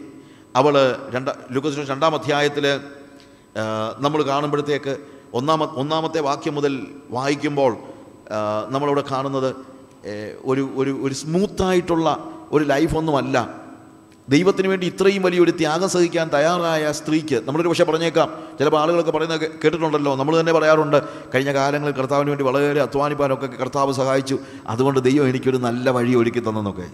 പക്ഷെ മറിയയുടെ ജീവിതത്തിലൊരു നല്ല വഴി ഉണ്ടായിട്ടില്ല. നമ്മൾ പറയുന്ന നല്ല വഴി. നമ്മൾ പറയുന്ന ഒരു നന്മ ഇപ്പം എല്ലാവരും നന്മയുടെ പുറകെയാണല്ലോ. നിനക്ക് വേണ്ടി രണ്ടായിരത്തി പതിമൂന്നിന്റെ ഒന്നാം മാസത്തിൽ ദൈവം ഒരു നന്മ ഒരുക്കിയിരിക്കുന്നു പറഞ്ഞു കഴിഞ്ഞാൽ പിന്നെ ഇടവും വലവും തിരിയത്തില്ല. കിടന്ന് നോക്കിക്കൊണ്ടിരിക്കുകയാണ് എതിരെയാണ് വരുന്നതെന്ന്. പക്ഷേ കർത്താവിന് വേണ്ടി ഇത്രയും ത്യാ ചിലപ്പം ബ്രദറെ ഞാൻ കർത്താവിന് വേണ്ടി ഒത്തിരി കഷ്ടങ്ങളൊക്കെ അനുഭവിച്ചതല്ലേ? കർത്താവ് എനിക്ക് തീർച്ചയായും വലിയൊരു നന്മ വരുത്തുമെന്നൊക്കെ പറയുമ്പോൾ ഇത്രയും വലിയ ത്യാഗം ആരാ ചെയ്തിട്ടുള്ളത് പ്രിയമുള്ളവരെ? മറിയ ചെയ്തതുപോലെ ഒരു ത്യാഗം ചെയ്ത് ആരെങ്കിലും ഇവിടെ ഇരിപ്പുണ്ടെങ്കിൽ വൈകുന്നേരം ഈ മീറ്റിംഗ് കഴിഞ്ഞിട്ട് എന്നെ ഒന്ന് വന്ന് കാണുക. മറിയയ്ക്ക് എന്ത് നന്മയാണ് കിട്ടിയത്? ദൈവപുത്രനെ പ്രസവിച്ചിടാനൊരു സ്ഥലം കിട്ടിയില്ല. രണ്ടാം അധ്യായത്തിന്റെ ഒന്ന് മുതൽ ഏഴ് വരെ വായിക്കുമ്പോൾ നമ്മളവിടെ എന്താണെന്ന് അറിയാമോ ഞാൻ സമയക്കുറവുകൊണ്ടാണ് ഈ ഭാഗങ്ങളെടുത്ത് ഓരോന്നായിട്ട് വായിക്കാത്തത്. അവിടെ എഴുതിയിരിക്കുന്നത് ആറാമത്തെ വാക്യത്തിൽ അവൻ അവിടെ ഇരിക്കുമ്പോൾ അവൾക്ക് പ്രസവത്തിനുള്ള കാലം തികഞ്ഞു. അവൾ ആദ്യജാതനായ മകനെ പ്രസവിച്ചു. ശീലകൾ ചുറ്റി വഴിയമ്പലത്തിൽ അവർക്ക് സ്ഥലമില്ലായകയാൽ പശുത്തൊട്ടിയിൽ കിടത്തി. ആദ്യജാതനായ മകനെ ഏകജാതനായ മകനെ എന്നല്ല എഴുതിയിരിക്കുന്നത്. ആദ്യജാതനായ മകനെ. യേശു മറിയയുടെ ഏകജാതനല്ല അവൻ ദൈവത്തിന്റെ ഏകജാതനാണ് പക്ഷേ മറിയയുടെ ആദ്യജാതനാണ്. ആദ്യജാതനായ മകനെ പ്രസവിച്ചു. പ്രസവിച്ചിട്ട് എന്താ എഴുതിയിരിക്കുന്നത് അറിയാമോ? പുൽ വഴിയമ്പലത്തിൽ അവർക്ക് സ്ഥലമില്ലായകയാൽ പശുത്തൊട്ടിയിൽ കിടത്തി പശുത്തൊട്ടിയിൽ പ്രസവിച്ചെന്ന് പോലും എഴുതിയിട്ടില്ല പശുത്തൊട്ടിയിൽ കിടത്തി എന്ന് എഴുതിയിരിക്കുന്നത്. അതായത് സ്ഥലമില്ല എങ്ങ് സ്ഥലമില്ല പശുത്തൊട്ടിയിൽ കിടത്തി. യേശുവിന്റെ ജീവിതം ഒന്ന് ആലോചിച്ച് നോക്കിയേ പ്രിയമുള്ളവരെ. യേശുവിന്റെ ജീവിതം ഒന്ന് ആലോചിച്ച് നോക്കിയേ. A man who had no place to be born ജനിച്ചു വീഴാൻ സ്ഥലമില്ലാത്ത ഒരു വ്യക്തിയാണ് യേശു കർത്താവ്. ജനിച്ചു വീഴാൻ സ്ഥലമില്ലാത്ത ഒരു വ്യക്തി. അവന്റെ മരണം ഒന്ന് ആലോചിച്ച് നോക്കി നമുക്കൊക്കെ ജനിച്ചു വീഴാൻ എവിടെയെങ്കിലും സ്ഥലമില്ലായിരുന്നോ? ആശുപത്രിയോ വീടോ എവിടെയെങ്കിലും. പക്ഷേ യേശുവിന് ജനിച്ചു വീഴാനൊരു സ്ഥലം ഇല്ലായിരുന്നു. അവന്റെ മരണം ഒന്ന് ആലോചിച്ച് നോക്കിയേ. നമ്മളൊക്കെ കട്ടിലേലോ നിലത്തോ ഒന്നും അല്ലെങ്കിൽ റോഡിലോ കിടന്ന് മരിക്കും. പക്ഷേ യേശുവിന്റെ മരണം നിങ്ങളൊന്ന് ആലോചിച്ചേ. അവന് തലചായ്ക്കുവാൻ ഇടമില്ലാഞ്ഞിട്ട് സ്വന്തം തോളിൽ he wanted to find an abode a place upon his shoulder അവന്റെ സ്വന്തം തോളിൽ തലചായ്ച്ച് അവൻ മരിക്കുന്നത്. ജനിച്ചു വീഴാൻ സ്ഥലമില്ലാത്തവനും മരിച്ചു വീ മരിക്കുവാൻ സ്ഥലമില്ലാത്തവനുമായ ഒരു വ്യക്തിയായിരുന്നു യേശു ക്രിസ്തു all the time when I speak about Jesus when I look unto the cross, what do you see on the cross? A man who lived for others and a man who died for others. മറ്റുള്ളവർക്ക് വേണ്ടി ജീവിക്കുകയും മറ്റുള്ളവർക്ക് വേണ്ടി മരിക്കുകയും ചെയ്യുന്നവനായ യേശു അവൻ സ്വയമായിട്ടൊന്നും കരുതിയില്ല ഒന്നും ഉണ്ടാക്കിയില്ല ഒന്നും അവന് സ്വന്തമായിട്ടുണ്ടായിരുന്നില്ല he was always living for others അവൻ എപ്പോഴും മറ്റുള്ളവർക്ക് വേണ്ടി ജീവിച്ചു അവന് ജനിച്ചു വീഴാനൊരു സ്ഥലം അവൻ തിരക്കിയില്ല. അവന് മരിക്കാനൊരു നല്ല സ്ഥലം അവൻ തിരക്കിയില്ല. അവനെല്ലാം വാടക കെട്ടിടത്തിനും വാടക you know always he was rent ചെയ്തോ അല്ലെങ്കിൽ മറ്റൊരാളുടെ ഇത് വാങ്ങിച്ചൊക്കെയാണ് അവൻ എപ്പോഴും ഉപയോഗിച്ചത്. അവന് സ്വന്തമായിട്ടൊരു പടകില്ലായിരുന്നു. പത്രോസിനുള്ള പടകിൽ കയറാൻ അവൻ പരിശ്രമിക്കുകയാണ്. അവന് അവന്റെ അവന്റെ അവസാനത്തെ വസ്ത്രം പോലും വാസ്തവത്തിൽ എന്താണ്? He was giving it for others even the last remnant he had അവന്റെ mantle he was giving it for others അവനെ അടക്കുവാൻ അവന് സ്വന്തമായിട്ടൊരു കല്ലറയില്ലായിരുന്നു. അനിമത്തിയിലെ യോസഫിന്റെ കല്ലറയിൽ കടം വാങ്ങിയ കല്ലറയിൽ അവനെ അടക്കുന്നത്. Is a man who always live for others and dying for others നമുക്കൊക്കെ യേശുവിനെ പോലെ ആകണമെങ്കിൽ വേറെ ഒരു മാർഗവുമില്ല സഹോദരങ്ങളെ. നമുക്ക് യേശുവിനെ പോലെ ആകണമെങ്കിൽ ഇതേ ഉള്ളൂ മാർഗം എന്ത്? Live for others and die for others മറ്റുള്ളവർക്ക് വേണ്ടി ജീവിക്കുകയും മറ്റുള്ളവർക്ക് വേണ്ടി മരിക്കുകയും ചെയ്യുമ്പോഴാണ് നമ്മൾ യേശുവിന്റെ സ്വഭാവമുള്ളവരായിത്തീരുന്നത്. മറ്റുള്ളവരുടെ പാപങ്ങൾക്ക് പരിഹാരമായിട്ട് നമുക്ക് മരിക്കാൻ പറ്റത്തില്ല. പക്ഷേ മറ്റുള്ളവർക്ക് വേണ്ടി മരിക്കുക എന്നുള്ളത് അസാധ്യമായ കാര്യമല്ല. യോഹന്നാൻ മൂന്നിന്റെ പതിനാറ് നമ്മൾക്കെല്ലാവർക്കും അറിയാം. തന്റെ ഏകജാതനായ പുത്രനെ നൽകുവാൻ തക്കവണ്ണം ദൈവം ലോകത്തെ അത്രയ്ക്ക് സ്നേഹിച്ചു. യേശു ദൈവം നമുക്ക് വേണ്ടി യേശുവിനെ നൽകി. പക്ഷേ ഒന്ന് യോഹന്നാൻ മൂന്നിന്റെ പതിനാറ് നിങ്ങൾ വായിച്ചിട്ടുണ്ടോ? യോഹന്നാൻ മൂന്നിന്റെ പതിനാറ് എല്ലാവരും വായിക്കും. ഒന്ന് യോഹന്നാൻ മൂന്നിന്റെ പതിനാറിൽ നമ്മൾ കാണുന്നത് എങ്ങനെയാണെന്ന് അറിയാമോ? ദൈവം തന്റെ പുത്രനെ നൽകിയതുകൊണ്ട് അവൻ നമ്മുടെ അവന്റെ സ്നേഹത്തെ പ്രദർശിപ്പിച്ചു എന്ന് പറഞ്ഞിട്ട് പറയുന്ന കാര്യം. നാമും അങ്ങനെ തന്നെ നമ്മുടെ സഹോദരങ്ങൾക്ക് വേണ്ടി പ്രാണനെ വെച്ചു കൊടുക്കേണ്ടതാകുന്നു. അതാരും പറയത്തില്ല. യേശു നമുക്ക് വേണ്ടി മരിച്ച കാര്യം നമ്മൾ എപ്പോഴും പറഞ്ഞുകൊണ്ടിരിക്കും. പക്ഷേ കർത്താവ് നമുക്ക് വേണ്ടി മരിച്ചെങ്കിൽ നമ്മൾ മറ്റുള്ളവർക്ക് വേണ്ടി മരിക്കാൻ ഒരുക്കമുള്ളവരായിരിക്കണം. അപ്പോഴാണ് നമ്മൾ യേശുവിന്റെ യേശുവിന്റെ സ്വഭാവത്തോട് അനുരൂപരായിത്തീരുന്നത്. When we look at the cross we see a man who lived for others and a man who died for others അവൻ ജനിക്കുവാൻ സ്ഥലമില്ലാത്തവനായിരുന്നു. മറിയയുടെ ജീവിതത്തിലെ ദുഃഖം അതാണ്. ദൈവപുത്രനെ ചുമക്കുവാൻ അവൾ തന്നെ തന്നെ ഏൽപ്പിച്ചു കൊടുത്തിട്ടും ആ ദൈവപുത്രനെ പ്രസവിച്ചിടാൻ ഒരു സ്ഥലം പോലും കിട്ടാതെ വിഷമിച്ച മറിയ. അവളുടെ പിന്നാലെ ഒരു നന്മയും ഓടിച്ചെന്നില്ല. നമ്മൾ പ്രതീക്ഷിക്കുന്ന നമ്മുടെ ക്രൂസൈഡ് പ്രസംഗകർ പറയുന്നതായ ഒരു നന്മയും ഈ പറയുന്ന കഷ്ടം സഹിച്ച മറിയയ്ക്ക് ലഭിച്ചില്ല എന്ന് നിങ്ങൾ ആലോചിക്കണം. പിന്നെ പിന്നീട് വീണ്ടും യേശുവുമായുള്ള ബന്ധത്തിൽ മറിയയുടെ കാര്യത്തെ കാണുമ്പോൾ നമ്മൾ ലൂക്കോസിന്റെ സുവിശേഷം രണ്ടാം അധ്യായത്തിന്റെ മുപ്പത്തിയഞ്ചാം വാക്യം വായിക്കുമ്പോൾ ഷിമിയോനെ നമ്മളവിടെ കാണുന്നു. യേശുവിനെ കയ്യിലെടുത്ത് അനുഗ്രഹിച്ചതിന് ശേഷം മറിയയെ നോക്കി ശിമിയൻ പറഞ്ഞൊരു കാര്യമുണ്ട്. നിന്റെ പ്രാണനിൽ കൂടെയും ഒരു വാൾ കടക്കും. അതൊരു പ്രവചനമായി നടക്കുകയാണ്. ഇപ്പോൾ ഈ ക്രൂശിന്റെ ചുവട്ടിൽ അവളത് ശരിക്കും അനുഭവിച്ചറിയുകയാണ്. ആ പ്രവചനത്തിന്റെ ഒരു നിവൃത്തി പോലെ നമ്മൾ കാണുകയാണ്. പന്ത്രണ്ടാമത്തെ വയസ്സിൽ ലൂക്കോസിന് ശേഷം രണ്ടാം അധ്യായത്തിന്റെ നാൽപ്പത്തി ഒന്ന് മുതൽ അൻപത്തൊന്ന് വരെയുള്ള വാക്യങ്ങൾ വായിക്കുമ്പോൾ ഞാൻ ഈ ഭാഗങ്ങൾ വാക്യങ്ങൾ മാത്രം പറഞ്ഞു പോകുകയാണ് നമ്മുടെ സമയത്തിന്റെ പരിമിതി കൊണ്ട്. അവിടെ നമ്മളെന്താ കാണുന്നത്? യേശു കർത്താവ് പിതാവിന്റെ ഭവനം അല്ലെങ്കിൽ ദേവാലയത്തിലായിരിക്കുമ്പോൾ. അന്ന് എല്ലാവരും ഒരുമിച്ചാണല്ലോ മീറ്റിങ്ങിനൊക്കെ പോകുന്നത്. യരുഷലേമിലേക്ക് എല്ലാ വർഷവും പതി എല്ലാ വർഷവും അവന്റെ മാതാപിതാക്കന്മാർ എല്ലാ റിലീജിയസ് ആയിട്ടുള്ള ഭക്തിയുള്ള യഹൂദന്മാർ കഴിവതും ആണ്ടിൽ ഒരിക്കലെങ്കിലും പ്രത്യേകിച്ച് പെരുന്നാളിന്റെ സമയത്ത് പെസഹായുടെ സമയത്ത് അവരെല്ലാവരും നോർമലി ദേവാലയം സന്ദർശിച്ച് അല്ലെങ്കിൽ എരുശലമിലേക്ക് പോവുകയും ദേവാലയത്തിൽ പ്രാർത്ഥിക്കുകയും ചെയ്യാറുണ്ട്. അന്ന് ദേവാലയം സന്ദർശിക്കാൻ പോയ കൂട്ടത്തിൽ യേശു ഉണ്ടായിരുന്നു പന്ത്രണ്ട് വയസ്സുള്ള യേശു.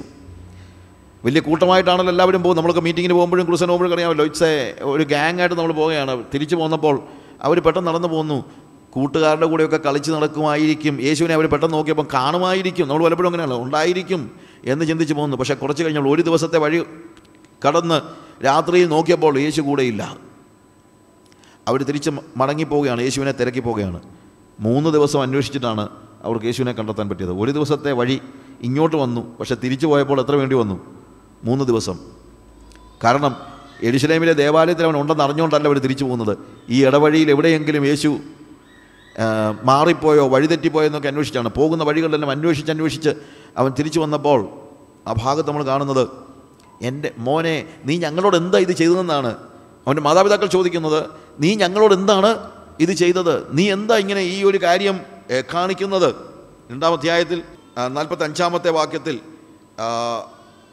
അവനെ അവനെ അന്വേഷിച്ചുകൊണ്ട് എരുശലമിലേക്ക് മടങ്ങിപ്പോയി. മൂന്ന് നാൾ കഴിഞ്ഞ ശേഷം അവൻ ദേവാലയത്തിൽ ഉപദേഷ്ടാക്കന്മാരുടെ അടുക്കൽ ഇരിക്കുന്നതും അവരുടെ ഉപദേശം കേൾക്കുകയും അവരോട് ചോദിക്കുകയും ചെയ്യുന്നതും കണ്ടു. അവന്റെ വാക്ക് കേട്ടവർക്കെല്ലാം അവന്റെ വിവേകത്തിലും ഉത്തരങ്ങളിലും വിസ്മയം തോന്നി. അവനെ കണ്ടിട്ട് അവർ അതിശയിച്ചു. അമ്മ അവനോട് മകനെ ഞങ്ങളോട് ഇങ്ങനെ ചെയ്തത് എന്ത്? നിന്റെ അപ്പനും ഞാനും വ്യസനിച്ചുകൊണ്ട് നിന്നെ തിരഞ്ഞ് തിരഞ്ഞു എന്ന് പറഞ്ഞു. അവർ അവനോട് എന്നെ തിരഞ്ഞത് എന്തിന്? എന്റെ പിതാവിനുള്ളതിൽ ഞാൻ ഇരിക്കേണ്ടത് എന്ന് നിങ്ങൾ അറിയുന്നില്ലയോ എന്ന് പറഞ്ഞു. അവൻ തങ്ങളോട് പറഞ്ഞ വാക്ക് അവർ ഗ്രഹിച്ചില്ല. പിന്നെ അവൻ അവരോട് കൂടെ ഇറങ്ങി നസ്രത്തിൽ വന്ന് അവർക്ക് കീഴടങ്ങിയിരുന്നു. സി അമ്മ ചോദിക്കുന്ന ചോദ്യം ഒരു നോർമൽ ഒരു സ്ത്രീ ചോദിക്കുന്ന ചോദ്യമാണ്. നീ ഞങ്ങളോട് ഈ ചെയ്തത് എന്ത്? ഞാനും നിന്റെ അപ്പനും നിന്നെ എവിടെയെല്ലാം അന്വേഷിച്ചു? ഞങ്ങൾ തിരഞ്ഞു നിന്നെ കണ്ടില്ല ഞങ്ങൾ ആകെപ്പാടെ വിഷമിച്ചു. യേശു അമ്മയോട് ആദ്യമായിട്ട് പറയുന്ന ഒരു കാര്യമാണ്. ഫസ്റ്റ് ടൈം മാതാവിനോടുള്ള യേശുവിന്റെ സംസാരം. ഞാൻ പറഞ്ഞല്ലോ യേശുവിന്റെ സംസാരത്തിൽ രേഖപ്പെടുത്തപ്പെട്ട ആദ്യത്തെ വാക്കാണിത്. എന്ത്? ഞാൻ എന്റെ പിതാവിനുള്ളതിൽ ഇരിക്കേണ്ടതല്ലയോ? എന്റെ പിതാവിന്റെ ഭവനത്തിൽ എന്റെ പിതാവിനുള്ളതിൽ എന്റെ പിതാവിനുള്ള കാര്യങ്ങളിലേക്ക് ഞാൻ ഇടപെടേണ്ടതല്ലയോ? I am in my father's business എന്റെ പിതാവിന്റെ വ്യാപാരങ്ങളിൽ എന്റെ പിതാവിന്റെ കാര്യങ്ങളിൽ ഞാൻ വ്യാപൃതനാകേണ്ടതല്ലേ? എന്താ യേശു മറിയോട് പറയുന്നത് അറിയാമോ don't consider me as a normal child I am different എന്നെ നിങ്ങൾ ഒരിക്കലും ഒരു സാധാരണ കുട്ടിയെപ്പോലെ കണക്കാക്കരുത്. I am different you know that മറിയോട് പറയാണ് നിങ്ങൾക്ക് നിന- നിങ്ങൾക്കറിയാമല്ലോ. മറിയോട് പറയാണ് മറി അമ്മയോട് പറയാണ് നിങ്ങൾക്കറിയാമല്ലോ you know that I am the son of God ഞാൻ എവിടെയായിരിക്കേണ്ടത്? നിങ്ങൾ ഉദ്ദേശിക്കുന്നത് പോലെ എന്നെ പിടിച്ചു വെക്കാനായിട്ട് നിങ്ങൾ പരിശ്രമിക്കരുത്.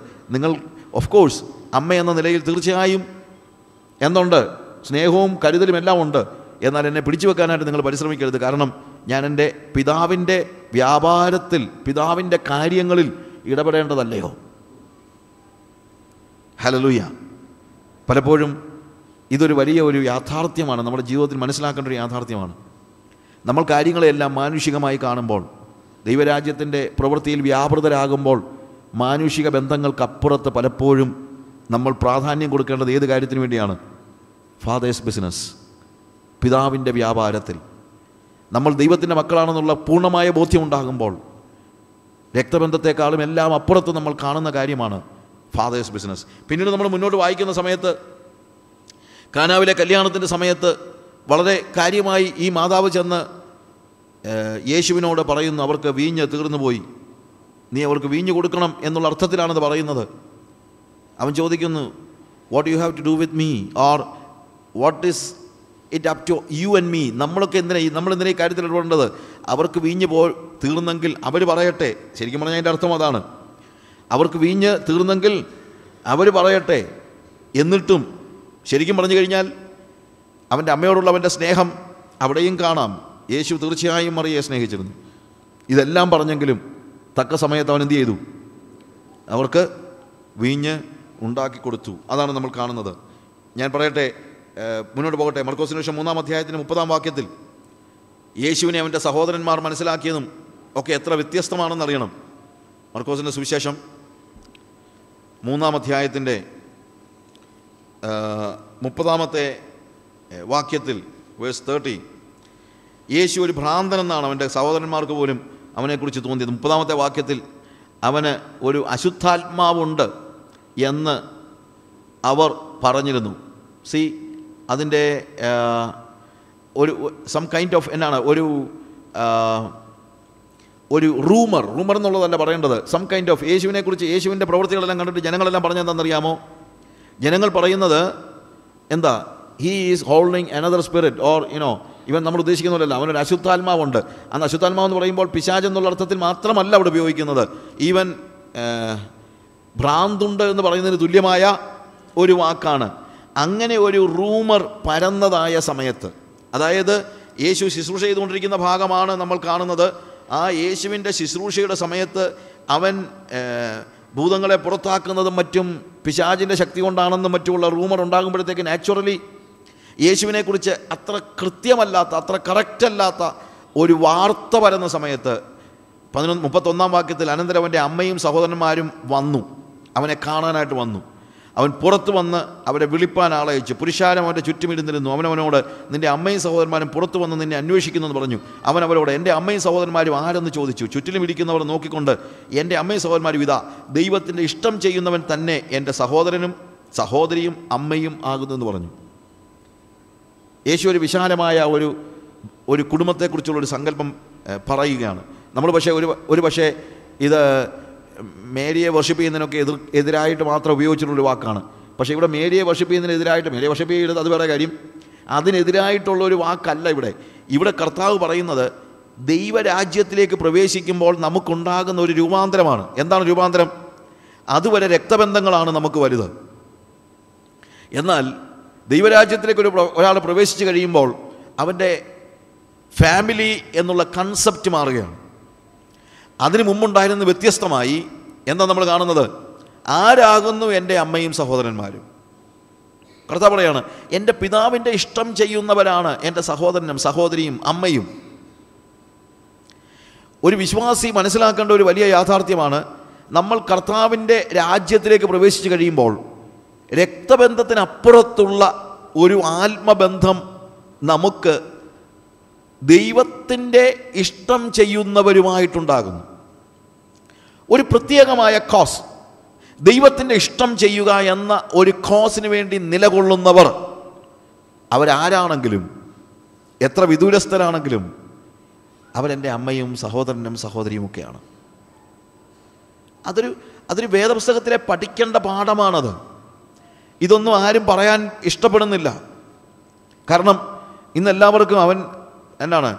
ഞാനും എന്റെ ഭാര്യയും എന്റെ മക്കളും എന്നുള്ള ഒരു ഇടുങ്ങിയ മനസ്സിലേക്ക്. അതൊരു അതൊരു ഹ്യൂമൻ തോട്ടാണ് അതൊരു ഒരു എന്താ that's not a biblical thought അതൊരു സ്വാർത്ഥമായ ചിന്തയാണ്. ഞാനും എന്റെ ഭാര്യയും എന്റെ മക്കളും. പക്ഷേ ദൈവരാജ്യത്തിലേക്ക് പ്രവേശിച്ച് കഴിയുമ്പോൾ നമ്മുടെ കുടുംബം വളരെ വിശാലമാവുകയാണ്. ആ കുടുംബത്തിലേക്ക് ആരൊക്കെയാണ് കടന്നു വരുന്നറിയാമോ പിതാവിന്റെ ഇഷ്ടം ചെയ്യുന്നവരെല്ലാം. പിതാവിന്റെ ഇഷ്ടം ചെയ്യുന്നവരെല്ലാം സഹോദരനും സഹോദരിയും അമ്മയും ഒക്കെ ആകുന്നതായ ഒരു സ്റ്റേജ് അതുകൊണ്ടാണ് യേശു കർത്താവ് പത്രോസിനോട് പറയുന്നത് പത്രോസ് ചോദിച്ചു ഞങ്ങൾ സകലവും വിട്ട് നിന്നെ അനുഗമിച്ചു. ഞങ്ങൾക്ക് എന്ത് കിട്ടും?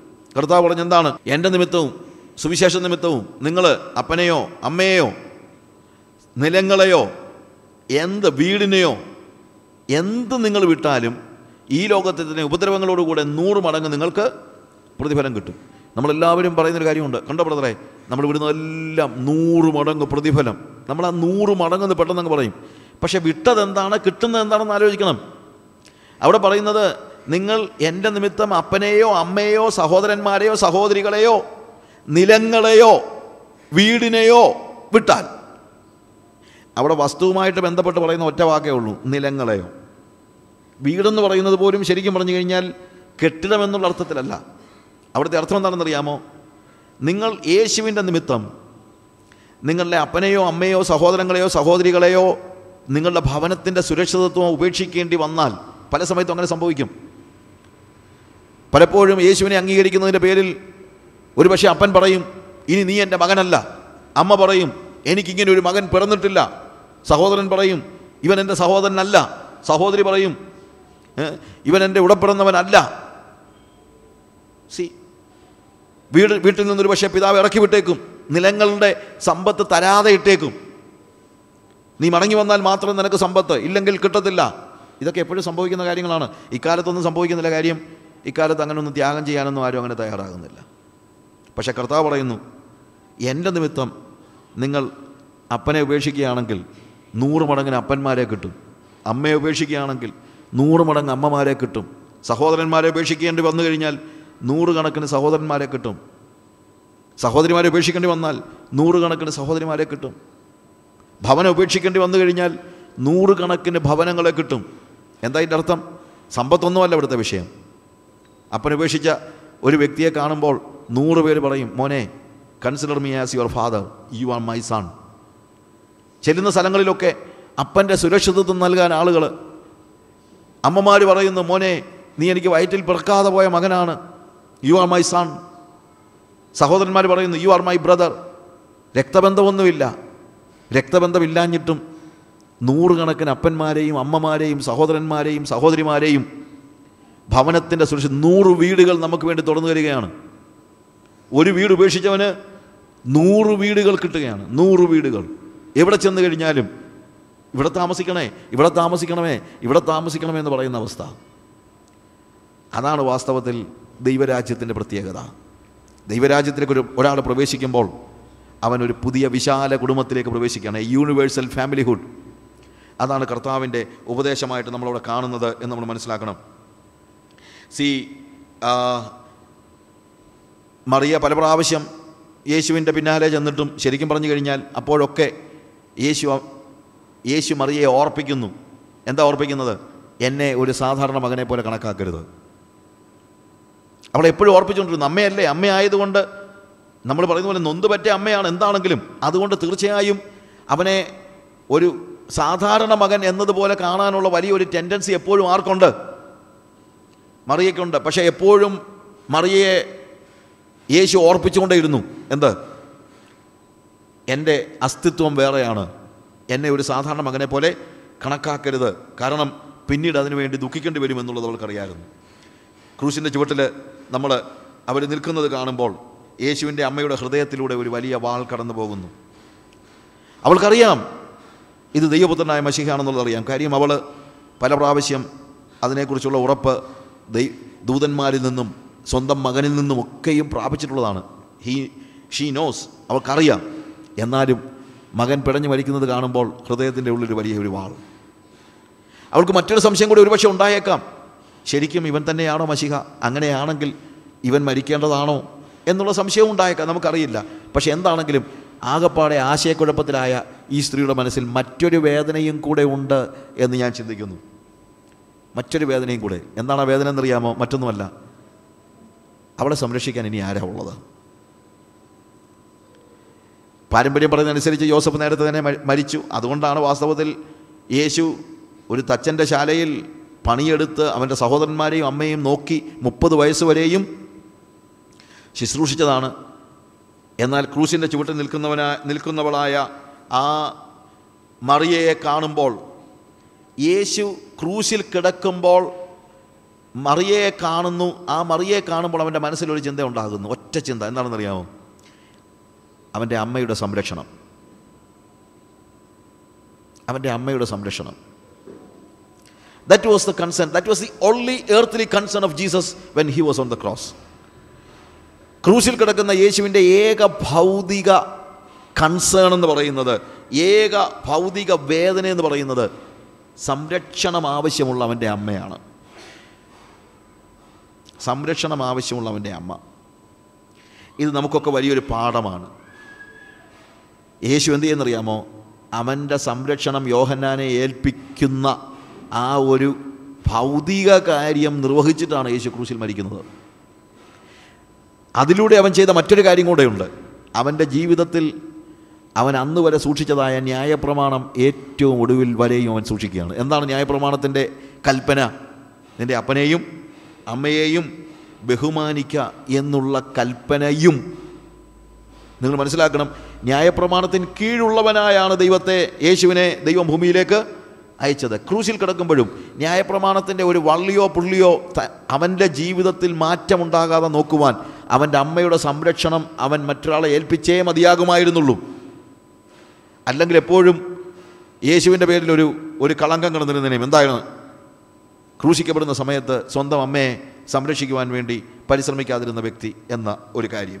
എന്നാൽ ആ മകൻ ഉത്തരവാദിത്വമുള്ളവനായി തീരുകയാണ് മാതാപിതാക്കളെ ഉപേക്ഷിക്കാൻ വെമ്പുന്ന ഒരു തലമുറയായി അതൊരു ബേർഡനായിട്ട് കണക്കാക്കുന്ന തലമുറയാണ്.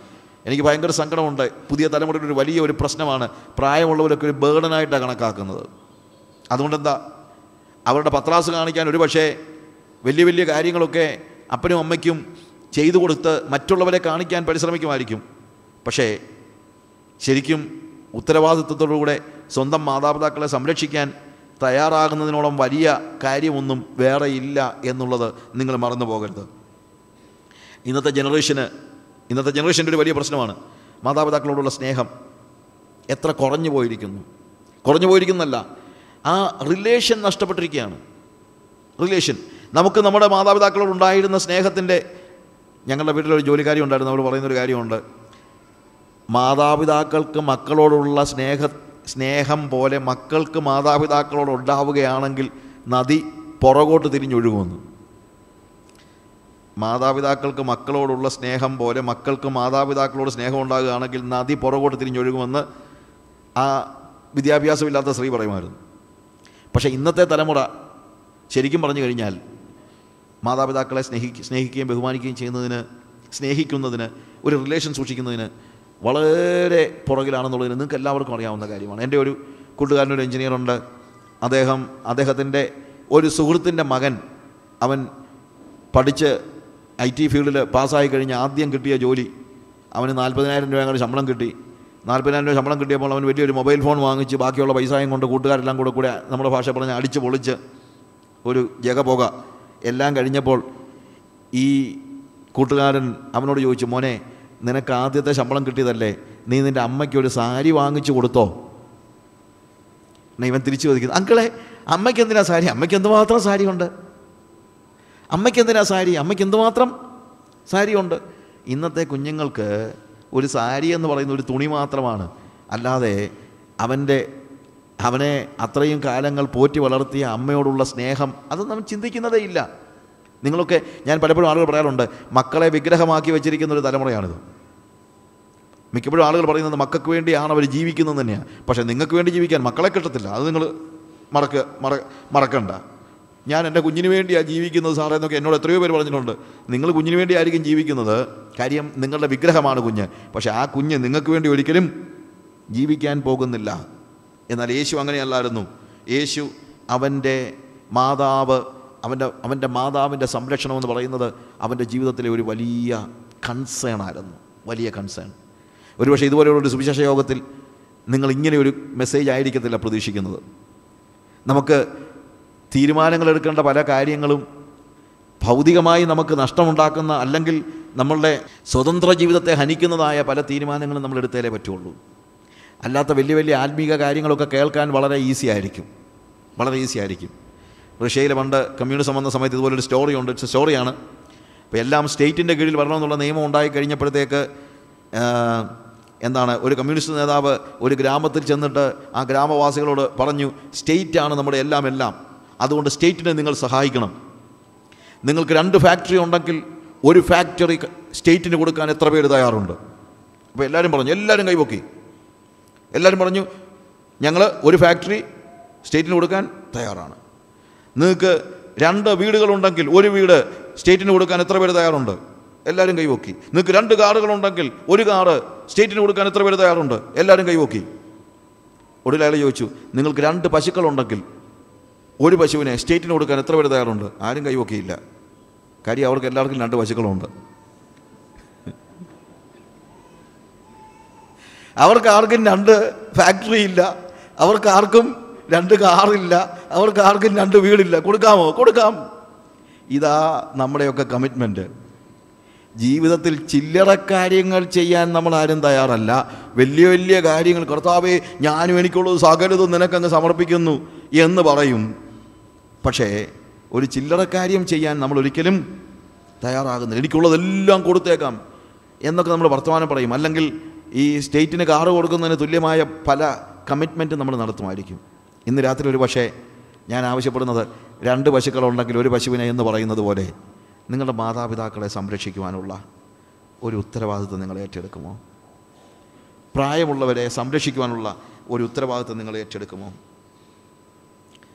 മറിയെ നോക്കിയിട്ട് യേശു വിളിക്കുകയാണ് സ്ത്രീയെ നോക്ക് ഈ നിൽക്കുന്ന ആരാണെന്നറിയാമോ? യോഹന്നാൻ. ഇതാ നിന്റെ മകൻ. ഇന്നലെ വരെ അല്ലെങ്കിൽ ഈ നിമിഷം വരെ ഞാൻ നിന്നെ സംരക്ഷിച്ചു. I was your son yes യേശു എതിരെ പോയി കഴിഞ്ഞാൽ അവന്റെ അമ്മയെ സംരക്ഷിക്കുന്ന കാര്യത്തിൽ ഞാൻ പൂർണമായി വിശ്വസിക്കുന്നു. അവന്റെ അമ്മയുടെ സംരക്ഷണം അവന്റെ വലിയ കൺസേൺ ആയിരുന്നു. സ്ത്രീയെ ഇനി മുതൽ ഞാൻ നിന്റെ മകനല്ല. ഇതാ യോഹന്നാൻ നിന്റെ മകൻ. ഇനി ഞാൻ ആരാണെന്നറിയാമോ? ഞാൻ നിന്റെ രക്ഷകൻ. മകനിൽ നിന്ന് രക്ഷകനിലേക്കുള്ള ഒരു ചുവടുമാറ്റമാണ് കാൽവറി ക്രൂശിൽ നടക്കുന്നത്. കാൽവറി ക്രൂസിൽ മരിക്കുന്ന യേശു മറിയയുടെ മകനല്ല മറിയയുടെ രക്ഷകനാണ്. കാൽവറി ക്രൂസിൽ മരിക്കുന്ന യേശു മറിയയുടെ മകനല്ല മറിയയുടെ രക്ഷകനാണ്. എന്നാൽ ആ സമയത്തും അവൾക്കൊരു മകനെ വേണമെന്നുള്ളത് യേശുവിനറിയാമായിരുന്നു. യോഹന്നാനെ ചൂണ്ടിക്കാണിച്ചിട്ട് പറയാണ് ഇതാ നിന്റെ മകൻ. ഇനി നിന്റെ സംരക്ഷണം ഈ മകൻ നിർവഹിക്കും. യേശു സ്നേഹിച്ച ശിഷ്യൻ. അവിടെ എഴുതിയിരിക്കുന്ന ഭാഗം അതാണ്. യേശു സ്നേഹിച്ച ശിഷ്യൻ. യോഹന്നാനെ യേശു ഏറ്റവും അധികം സ്നേഹിച്ചുവെന്ന് യോഹന്നാൻ പറയുന്നു. യോഹന്നാനാണ് പറയുന്നത്? യോഹന്നാന്റെ സുവിശേഷത്തിൽ മാത്രമുള്ള ഒരു പ്രഖ്യാപനമാണ് യേശു സ്നേഹിച്ച ശിഷ്യൻ എന്ന് മറ്റ് ശിഷ്യന്മാരൊന്നും അങ്ങനെ അല്ലെങ്കിൽ മറ്റ് പുസ്തകങ്ങളിലൊന്നും അത് എഴുതിയിട്ടില്ല. എന്തുകൊണ്ടാണ് യേശു സ്നേഹിച്ച ശിഷ്യൻ എന്ന് യോഹന്നാൻ തന്നെക്കുറിച്ച് തന്നെ പറയുന്നത്? നിങ്ങൾ ചിന്തിക്കുന്നുണ്ടോ? മറ്റുള്ള എല്ലാ ശിഷ്യന്മാരെക്കാളും കൂടുതൽ യേശുവിനെ സ്നേഹിച്ചത് യേശു സ്നേഹിച്ചത് യോഹന്നാനെ ആയിരുന്നു നിങ്ങൾ ആരെങ്കിലും ചിന്തിക്കുന്നുണ്ടോ? അങ്ങനെയല്ല. യേശുവിന് എല്ലാവരോടും ഒരുപോലെ തന്നെ സ്നേഹമുണ്ട്. പിന്നെ എന്തുകൊണ്ടാണ് യോഹന്നാൻ എന്നെയാണ് ഏറ്റവും കൂടുതൽ യേശു സ്നേഹിച്ചതെന്ന് പറയാൻ കാര്യം? മറ്റൊന്നുമല്ല അവനാണ് യേശുവിനെ കൂടുതൽ സ്നേഹിച്ചത്. നമ്മുടെ പിള്ളേരൊക്കെ പറയുമല്ലോ എന്നെ അപ്പയ്ക്ക് കൂടുതൽ ഇഷ്ടം എന്നോടാ കൂടുതൽ ഇഷ്ടം എന്ന് പറയ പറയുമല്ലോ. ചിലപ്പോൾ പിള്ളേർ നമ്മൾ വഴക്കുണ്ടാക്കുമല്ലോ എന്നോടാ കൂടുതൽ ഇഷ്ടം എന്ന് പിള്ളേർ പറയുമല്ലോ.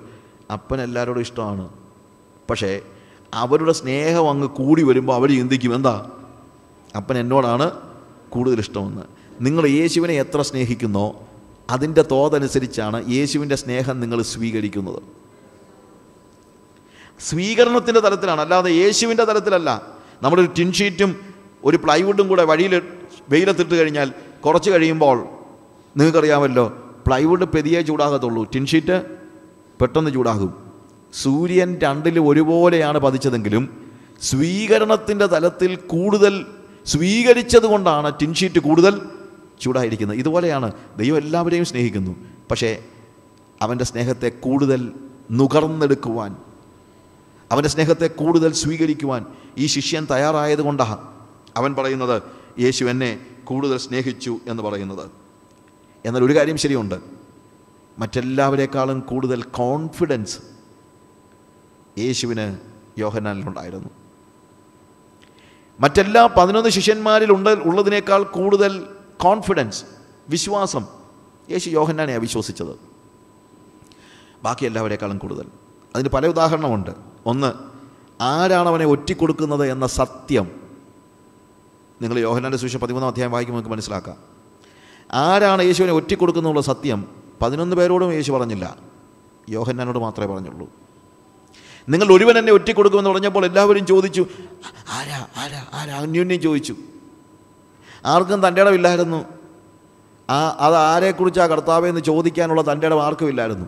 പത്രോസ് ആംഗ്യം കാണിച്ച് യോഹനോട് നീ ചോദിര നീ ചോദിര. എന്താണെന്നറിയാമോ? യോഹന്നാൻ യാതൊരു സംശയമില്ല ബാക്കി എല്ലാവർക്കും ഒരു സംശയം ഉണ്ടായിരുന്നു. ചോദിക്കുമോ അത് നീയാണെന്നോ വല്ലതും പറഞ്ഞാലെന്ന്? പക്ഷേ യോഹന്നാൻ ഒരു പ്രശ്നവും ഇല്ല യോഹന്നാൻ അവന്റെ മാറിൽ ചാരിക്കൊണ്ട് ചോദിച്ചു നീ അത് ആരെക്കുറിച്ചാണ് കർത്താവെ പറയുന്നത്? ഞാൻ ഇപ്പോൾ അപ്പം കഷണത്തിൽ മുക്കി കഷണം ചാറിൽ മുക്കി ആർക്ക് കൊടുക്കുന്നുവോ? അവൻ. കഷണം ചാറിൽ മുക്കി യൂതയ്ക്ക് കൊടുത്തു. അതവനൊരു കോമൺ പ്രസ്താവനയൊന്നുമല്ല കർത്താവ് നടത്തുന്നത്.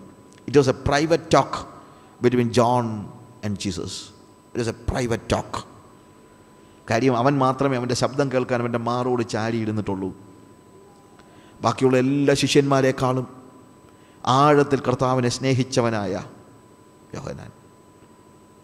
മടങ്ങിപ്പോകുന്ന പുരുഷാരവും മാറിച്ചാരുന്ന ശിഷ്യനും എന്ന് പറഞ്ഞ് എന്റെ ഒരു മെസ്സേജിന്റെ സി ഡി അവൈലബിൾ ആണ്. ഞാൻ ഇതിനകത്ത് വളരെ കൃത്യമായിട്ട് യോഹന്നാന്റെ ജീവിതത്തെക്കുറിച്ച് വിവരിച്ചിട്ടുണ്ട്. യേശുവിന്റെ കോൺഫിഡൻസ് യോഹന്നാനോട് ആലോചന ചോദിക്കാതെ യേശു യോഹനോട് പറഞ്ഞു ഇതാ നിന്റെ അമ്മ. എന്താ പറയുന്നത്? ഇനി ഇവളുടെ സംരക്ഷണം ഞാൻ നിന്നെയാണ് ഫലമേൽപ്പിക്കുന്നത്. ചോദിച്ചില്ല യോഹനാനെ ഞാനൊരു നിന്നോടൊരു ഫേവർ ചോദിക്കട്ടെ. എന്റെ അമ്മ ഞാനിപ്പോൾ പോകല്ലേ? നിനക്ക് നോക്കാൻ പറ്റുമെന്ന് ചോദിച്ചോ? ഇല്ല. ചോദിച്ചില്ല. കാര്യം യോഹന്നാന്റെ കാര്യത്തിൽ അത്രയ്ക്കും വലിയ ഒരു കോൺഫിഡൻസ് ആർക്കുണ്ടായിരുന്നു? യേശു ഉണ്ടായിരുന്നു കർത്താവിന്റെ കോൺഫിഡൻസ് ദൈവം നമ്മളെ വിളിക്കുമ്പോൾ ഇങ്ങനെയൊരു കോൺഫിഡൻസ് നമുക്കുണ്ടാവും നമ്മളോട് കർത്താവിനുണ്ടാവും. നമ്മൾ നമ്മളോടാണെങ്കിൽ കർത്താവ് അത് പറയുമായിരുന്നു. ദാറ്റ് ഈസ് മൈ ക്വസ്റ്റ്യൻ എന്റെ വാക്കുകളെ അവസാനിപ്പിക്കുമ്പോൾ ഞാൻ ഇന്ന് പറഞ്ഞത് നേരത്തെ പറഞ്ഞതുപോലെ വലിയ വലിയ ആത്മീക കാര്യങ്ങളൊന്നും പഠിപ്പിക്കാനല്ല ഞാൻ പരിശ്രമിക്കുന്നത്. I just want to ask you അതുകൊണ്ടാണ് ഞാൻ പറഞ്ഞത്. രണ്ട് ഫാക്ടറി ഉള്ളവൻ കൊടുക്കുന്ന കാര്യമൊക്കെ വിടട്ടെ. ഞാൻ ഇന്ന് രണ്ട് പശുക്കളിലൊന്നിനെ കൊടുക്കുന്ന കാര്യത്തെക്കുറിച്ചാണ് സംസാരിക്കുന്നത്. നിങ്ങൾ ചിന്തിക്കുന്നുണ്ടോ? കർത്താവ് നിങ്ങളോട് ഇതാ നിന്റെ അമ്മ എന്ന് പറഞ്ഞ് ഒരു അമ്മയെ കൂടെ നിങ്ങൾക്ക് തരാൻ കർത്താവ് തയ്യാറായാൽ. യോഹനാൻ ഓൾറെഡി ഒരു അമ്മയുണ്ട് നിങ്ങൾ മനസ്സിലാക്കണം. സബദി മക്കളുടെ അമ്മ സബദിയുടെ ഭാര്യ.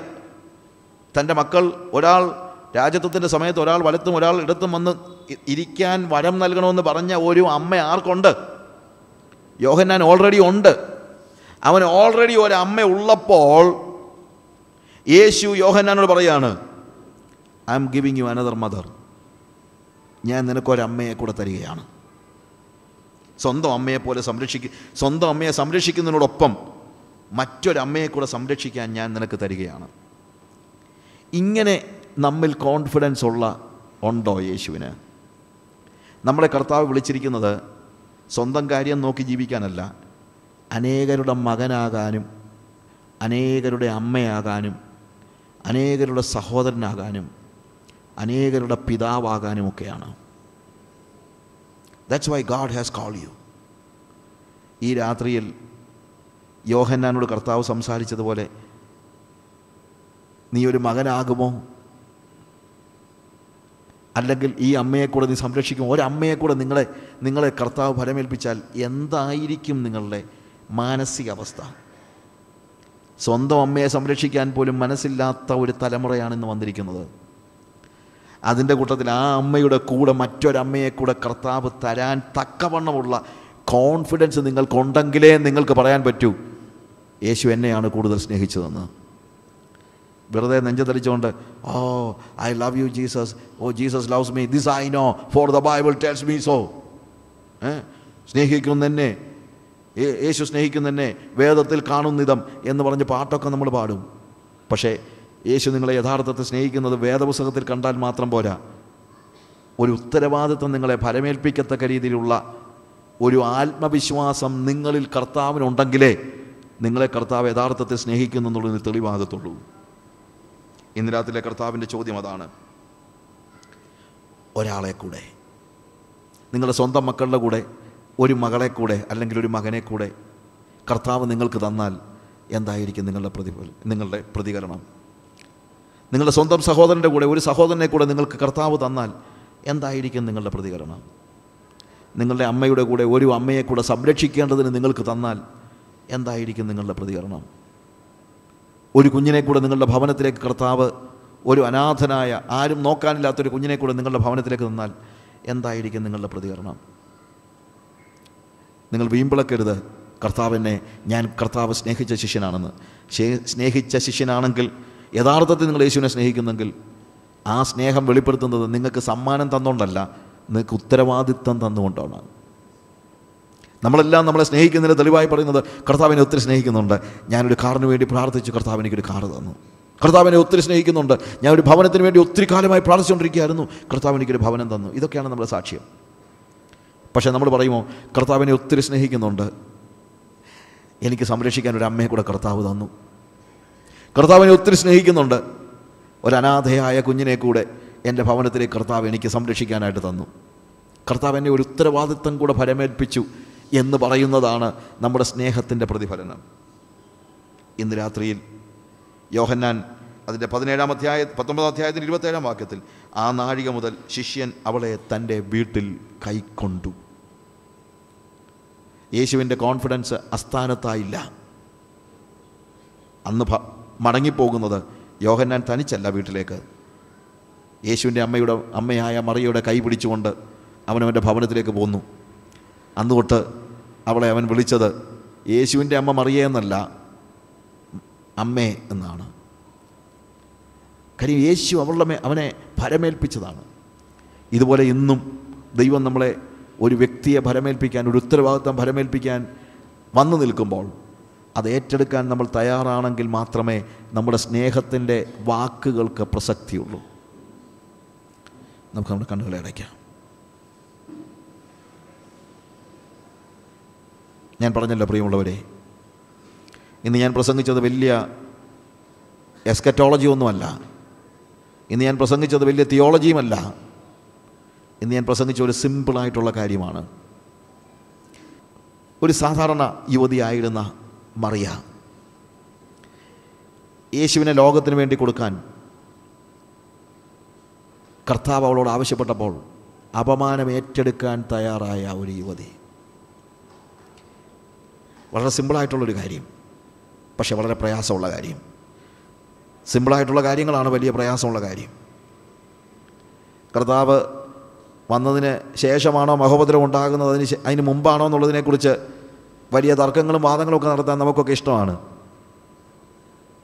അതിനെക്കുറിച്ച് വലിയ പ്രസംഗം കേൾക്കാനും നമുക്കിഷ്ടമാണ്. പക്ഷേ ഇന്ന് രാത്രിയിലെ പ്രസംഗം നിങ്ങൾ ഉപദേശത്തിലൊരു തീരുമാനമെടുക്കാനൊന്നുമല്ല ജീവിതത്തിലൊരു തീരുമാനമെടുക്കാനാണ്. യേശുവിനെ ലോകത്തിന് കൊടുക്കാൻ അപമാനം ഏറ്റെടുക്കാൻ നിങ്ങൾ തയ്യാറാണോ? യേശുവിനെ നിങ്ങളുടെ അയൽക്കാർക്ക് കൊടുക്കാൻ വേദന ഏറ്റെടുക്കാൻ നിങ്ങൾ തയ്യാറാണോ? യേശുവിനെ രാജ്യങ്ങൾക്ക് കൊടുക്കാൻ ജീവിതത്തിൽ ഒരുപക്ഷെ മരണത്തെ ഏറ്റെടുക്കാൻ നിങ്ങൾ തയ്യാറാണോ? ഹലലുയ ഇന്നലെയും ഞാൻ പറഞ്ഞൊരു കാര്യമുണ്ട്. ലോകത്തിന്റെ സുവിശേഷീകരണത്തിന് വേണ്ടി അറിയായ്മ കൊണ്ട് ചെയ്യുന്ന പാപങ്ങളെ മനുഷ്യൻ ചെയ്യുന്ന പാപങ്ങളെ ക്ഷമിക്കേണ്ടതിന് അവന് വേണ്ടി മധ്യസ്ഥത അണയ്ക്കാൻ ദൈവം നമ്മളെ വിളിക്കുന്നു എന്ന് ഞാൻ പറഞ്ഞു. നമ്മളെ കൊണ്ട് ദൈവം ഉദ്ദേശിക്കുന്ന രണ്ട് കാര്യങ്ങളാണ്. ഒന്ന് അവനെ അറിയുക. രണ്ട് അവനെ അറിയിക്കുക. ലോകത്തിന് യേശുവിനെ ആവശ്യമുണ്ട്. അനേകരുടെ ഹൃദയങ്ങളിൽ ഇനിയും യേശു ജനിച്ചിട്ടില്ല. അവരുടെ ഹൃദയങ്ങളിൽ യേശു ജനിക്കാൻ ലോകത്തിന്റെ രക്ഷകനായ യേശുവിനെ നിങ്ങളുടെ അയൽക്കാർക്ക് കൊടുക്കാൻ നിങ്ങളുടെ വീട്ടുകാർക്ക് കൊടുക്കാൻ നിങ്ങളുടെ കുടുംബക്കാർക്ക് കൊടുക്കാൻ നിങ്ങളുടെ ലോകത്തിന് കൊടുക്കാൻ അത്ര ഈസിയായ കാര്യമല്ല. ഒരു പക്ഷേ നിങ്ങൾ അപമാനം സഹിക്കേണ്ടി വരും. പങ്കപ്പാടുകൾ സഹിക്കേണ്ടി വരും. നഷ്ടം സഹിക്കേണ്ടി വരും. പണം നഷ്ടപ്പെടും ആരോഗ്യം നഷ്ടപ്പെടും. ഒരുപക്ഷെ ജീവിതം തന്നെ നഷ്ടപ്പെടും. പക്ഷേ ഇതാ ഞാൻ കർത്താവിന്റെ ദാസൻ. ഞാൻ കർത്താവിന്റെ ദാസി. പറ്റില്ല എന്ന് പറയാൻ എനിക്ക് എന്ത് അധികാരം? ദൈവത്തിന് ഒരു കാര്യവും അസാധ്യമല്ലല്ലോ എന്ന് പറഞ്ഞ് നമ്മൾ പാട്ടൊക്കെ പാടും. പക്ഷേ എന്താണ് അതിന്റെ അർത്ഥം? ദൈവത്തിന് ഒരു കാര്യവും ചെയ്യാൻ ആരുടെയും അനുവാദം ആവശ്യമില്ല. നിങ്ങളവന്റെ ദാസനാണെങ്കിൽ നിങ്ങളവന്റെ ദാസിയാണെങ്കിൽ ദൈവത്തിന് എന്തും ചെയ്യാമല്ലോ. മറിയുടെ കാര്യത്തിൽ ആ വാക്യത്തിന്റെ അർത്ഥം അതാണ് ഗോഡ് ക്യാൻ ഡു എനിത്തിങ് ദൈവത്തിന് എന്തും ചെയ്യാം. ഇതാ ഞാൻ കർത്താവിന്റെ ദാസി. നിന്റെ ഇഷ്ടം പോലെ എനിക്ക് ഭവിക്കട്ടെ. എത്ര പേര് ദൈവത്തിന്റെ സന്നിധിയിൽ പറയും കർത്താവേ ഞാൻ നിന്റെ ദാസൻ ഞാൻ നിന്റെ ദാസി. എനിക്ക് ചോയ്സ് ഇല്ല. ഞാനൊന്നും തിരഞ്ഞെടുക്കുന്നില്ല. നിനക്ക് എന്നെ എന്തും ചെയ്യാം. എന്നെ തകർക്കുവാൻ നിനക്കിഷ്ടമാണെങ്കിൽ എന്നെ തകർത്തുകൊള്ളൂ. യേശുവിനെ ലോകത്തിന് കൊടുക്കാൻ വേണ്ടി ഞാൻ ദുഃഖം അനുഭവിക്കണമെങ്കിൽ ദുരിതം അനുഭവിക്കണമെങ്കിൽ എന്റെ സമ്പത്ത് നഷ്ടപ്പെടുത്തണമെങ്കിൽ എന്റെ ജീവൻ നഷ്ടപ്പെടുത്തണമെങ്കിൽ ഞാനതിന് തയ്യാറാണ്. എത്ര പേര് പറയും? ഹൃദയത്തിന്റെ ആഴത്തിൽ നിന്ന് എത്ര പേര് പറയും? ആ മറിയെ പോലെ ഇതാ ഞാൻ കർത്താവിന്റെ ദാസി എന്ന് എത്ര പേര് പറയും? നീ എന്ത് പറഞ്ഞാലും ഞാനത് ചെയ്യും. യോഹന്നാനോട് കർത്താവ് അനുവാദം ചോദിച്ചില്ല എന്റെ അമ്മയെ സംരക്ഷിക്കാമോ? എന്ന് ചോദിച്ചില്ല. പക്ഷേ ദൈവത്തിന് യോഹന്നാനിൽ കോൺഫിഡൻസ് ഉണ്ടായിരുന്നു. യേശുവിന് യോഹന്നാനിൽ കോൺഫിഡൻസ് ഉണ്ടായിരുന്നു. അവനെ എനിക്കെന്തും ഭരമേൽപ്പിക്കാം? നമ്മുടെ മേൽ കർത്താവിന് അങ്ങനെ ഒരു കോൺഫിഡൻസ് ഉണ്ടോ?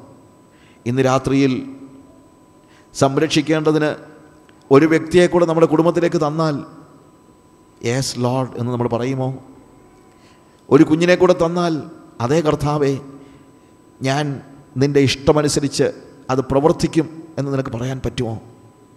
ഒരമ്മയെ കൂടെ തന്നാൽ ഒരപ്പനെ കൂടെ തന്നാൽ ഒരു മകനെ കൂടെ തന്നാൽ ഒരു സഹോദരനെ കൂടെ തന്നാൽ ഇന്ന് രാത്രി ഞാൻ ആവശ്യപ്പെടുന്ന അതാണ്. രണ്ട് പശുവുള്ളവന് ഒരു പശുവിനെ. ഫാക്ടറിയുടെ കാര്യമൊക്കെ വിട്. വലിയ വലിയ കാര്യങ്ങൾ വിട്. എസ്കറ്റോളജിയൊക്കെ വിട്. യുഗാന്ത്യശാസ്ത്രവും ക്രിസ്റ്റോളജിയും ഒക്കെ വിട്. A simple thing are you ready to obey God കർത്താവിന് വേണ്ടി തകർക്കപ്പെടുവാൻ നിങ്ങൾ തയ്യാറാണോ? കർത്താവിന് വേണ്ടി നഷ്ടം സഹിക്കാൻ നിങ്ങൾ തയ്യാറാണോ? കർത്താവിന് വേണ്ടി അപമാനം സഹിക്കാൻ നിങ്ങൾ തയ്യാറാണോ? ഹൃദയത്തിന്റെ ആഴത്തിൽ നിന്ന് യേസ് ലോഡ് എന്ന് പറയുന്നവർ അതേ കർത്താവേ എന്നെ തകർക്കാൻ നിനക്കിഷ്ടമാണെങ്കിൽ തകർക്കപ്പെടാൻ ഞാൻ തയ്യാറാണ്. ഞാൻ അപമാനിക്കപ്പെടേണ്ടത് ആവശ്യമാണെങ്കിൽ അപമാനം ഏറ്റെടുക്കാൻ ഞാൻ തയ്യാറാണ്. ലോകത്തിന് യേശുവിനെ കൊടുക്കാൻ ഞാൻ എന്ത് ചെയ്യണമെന്ന് നീ കൽപ്പിക്കുന്നോ അതനുസരിക്കാൻ ഞാൻ തയ്യാറാണ്. നിനക്കെന്തും ചെയ്യാം. ദൈവത്തിനെല്ലാം സാധ്യമെന്നല്ല ദൈവത്തിന് എന്തും ചെയ്യാം. എന്റെ മേൽ ദൈവത്തിന് എന്തും ചെയ്യാം. എന്റെ ജീവിതത്തിന്റെ മേൽ ദൈവത്തിന് എന്തും ചെയ്യാം.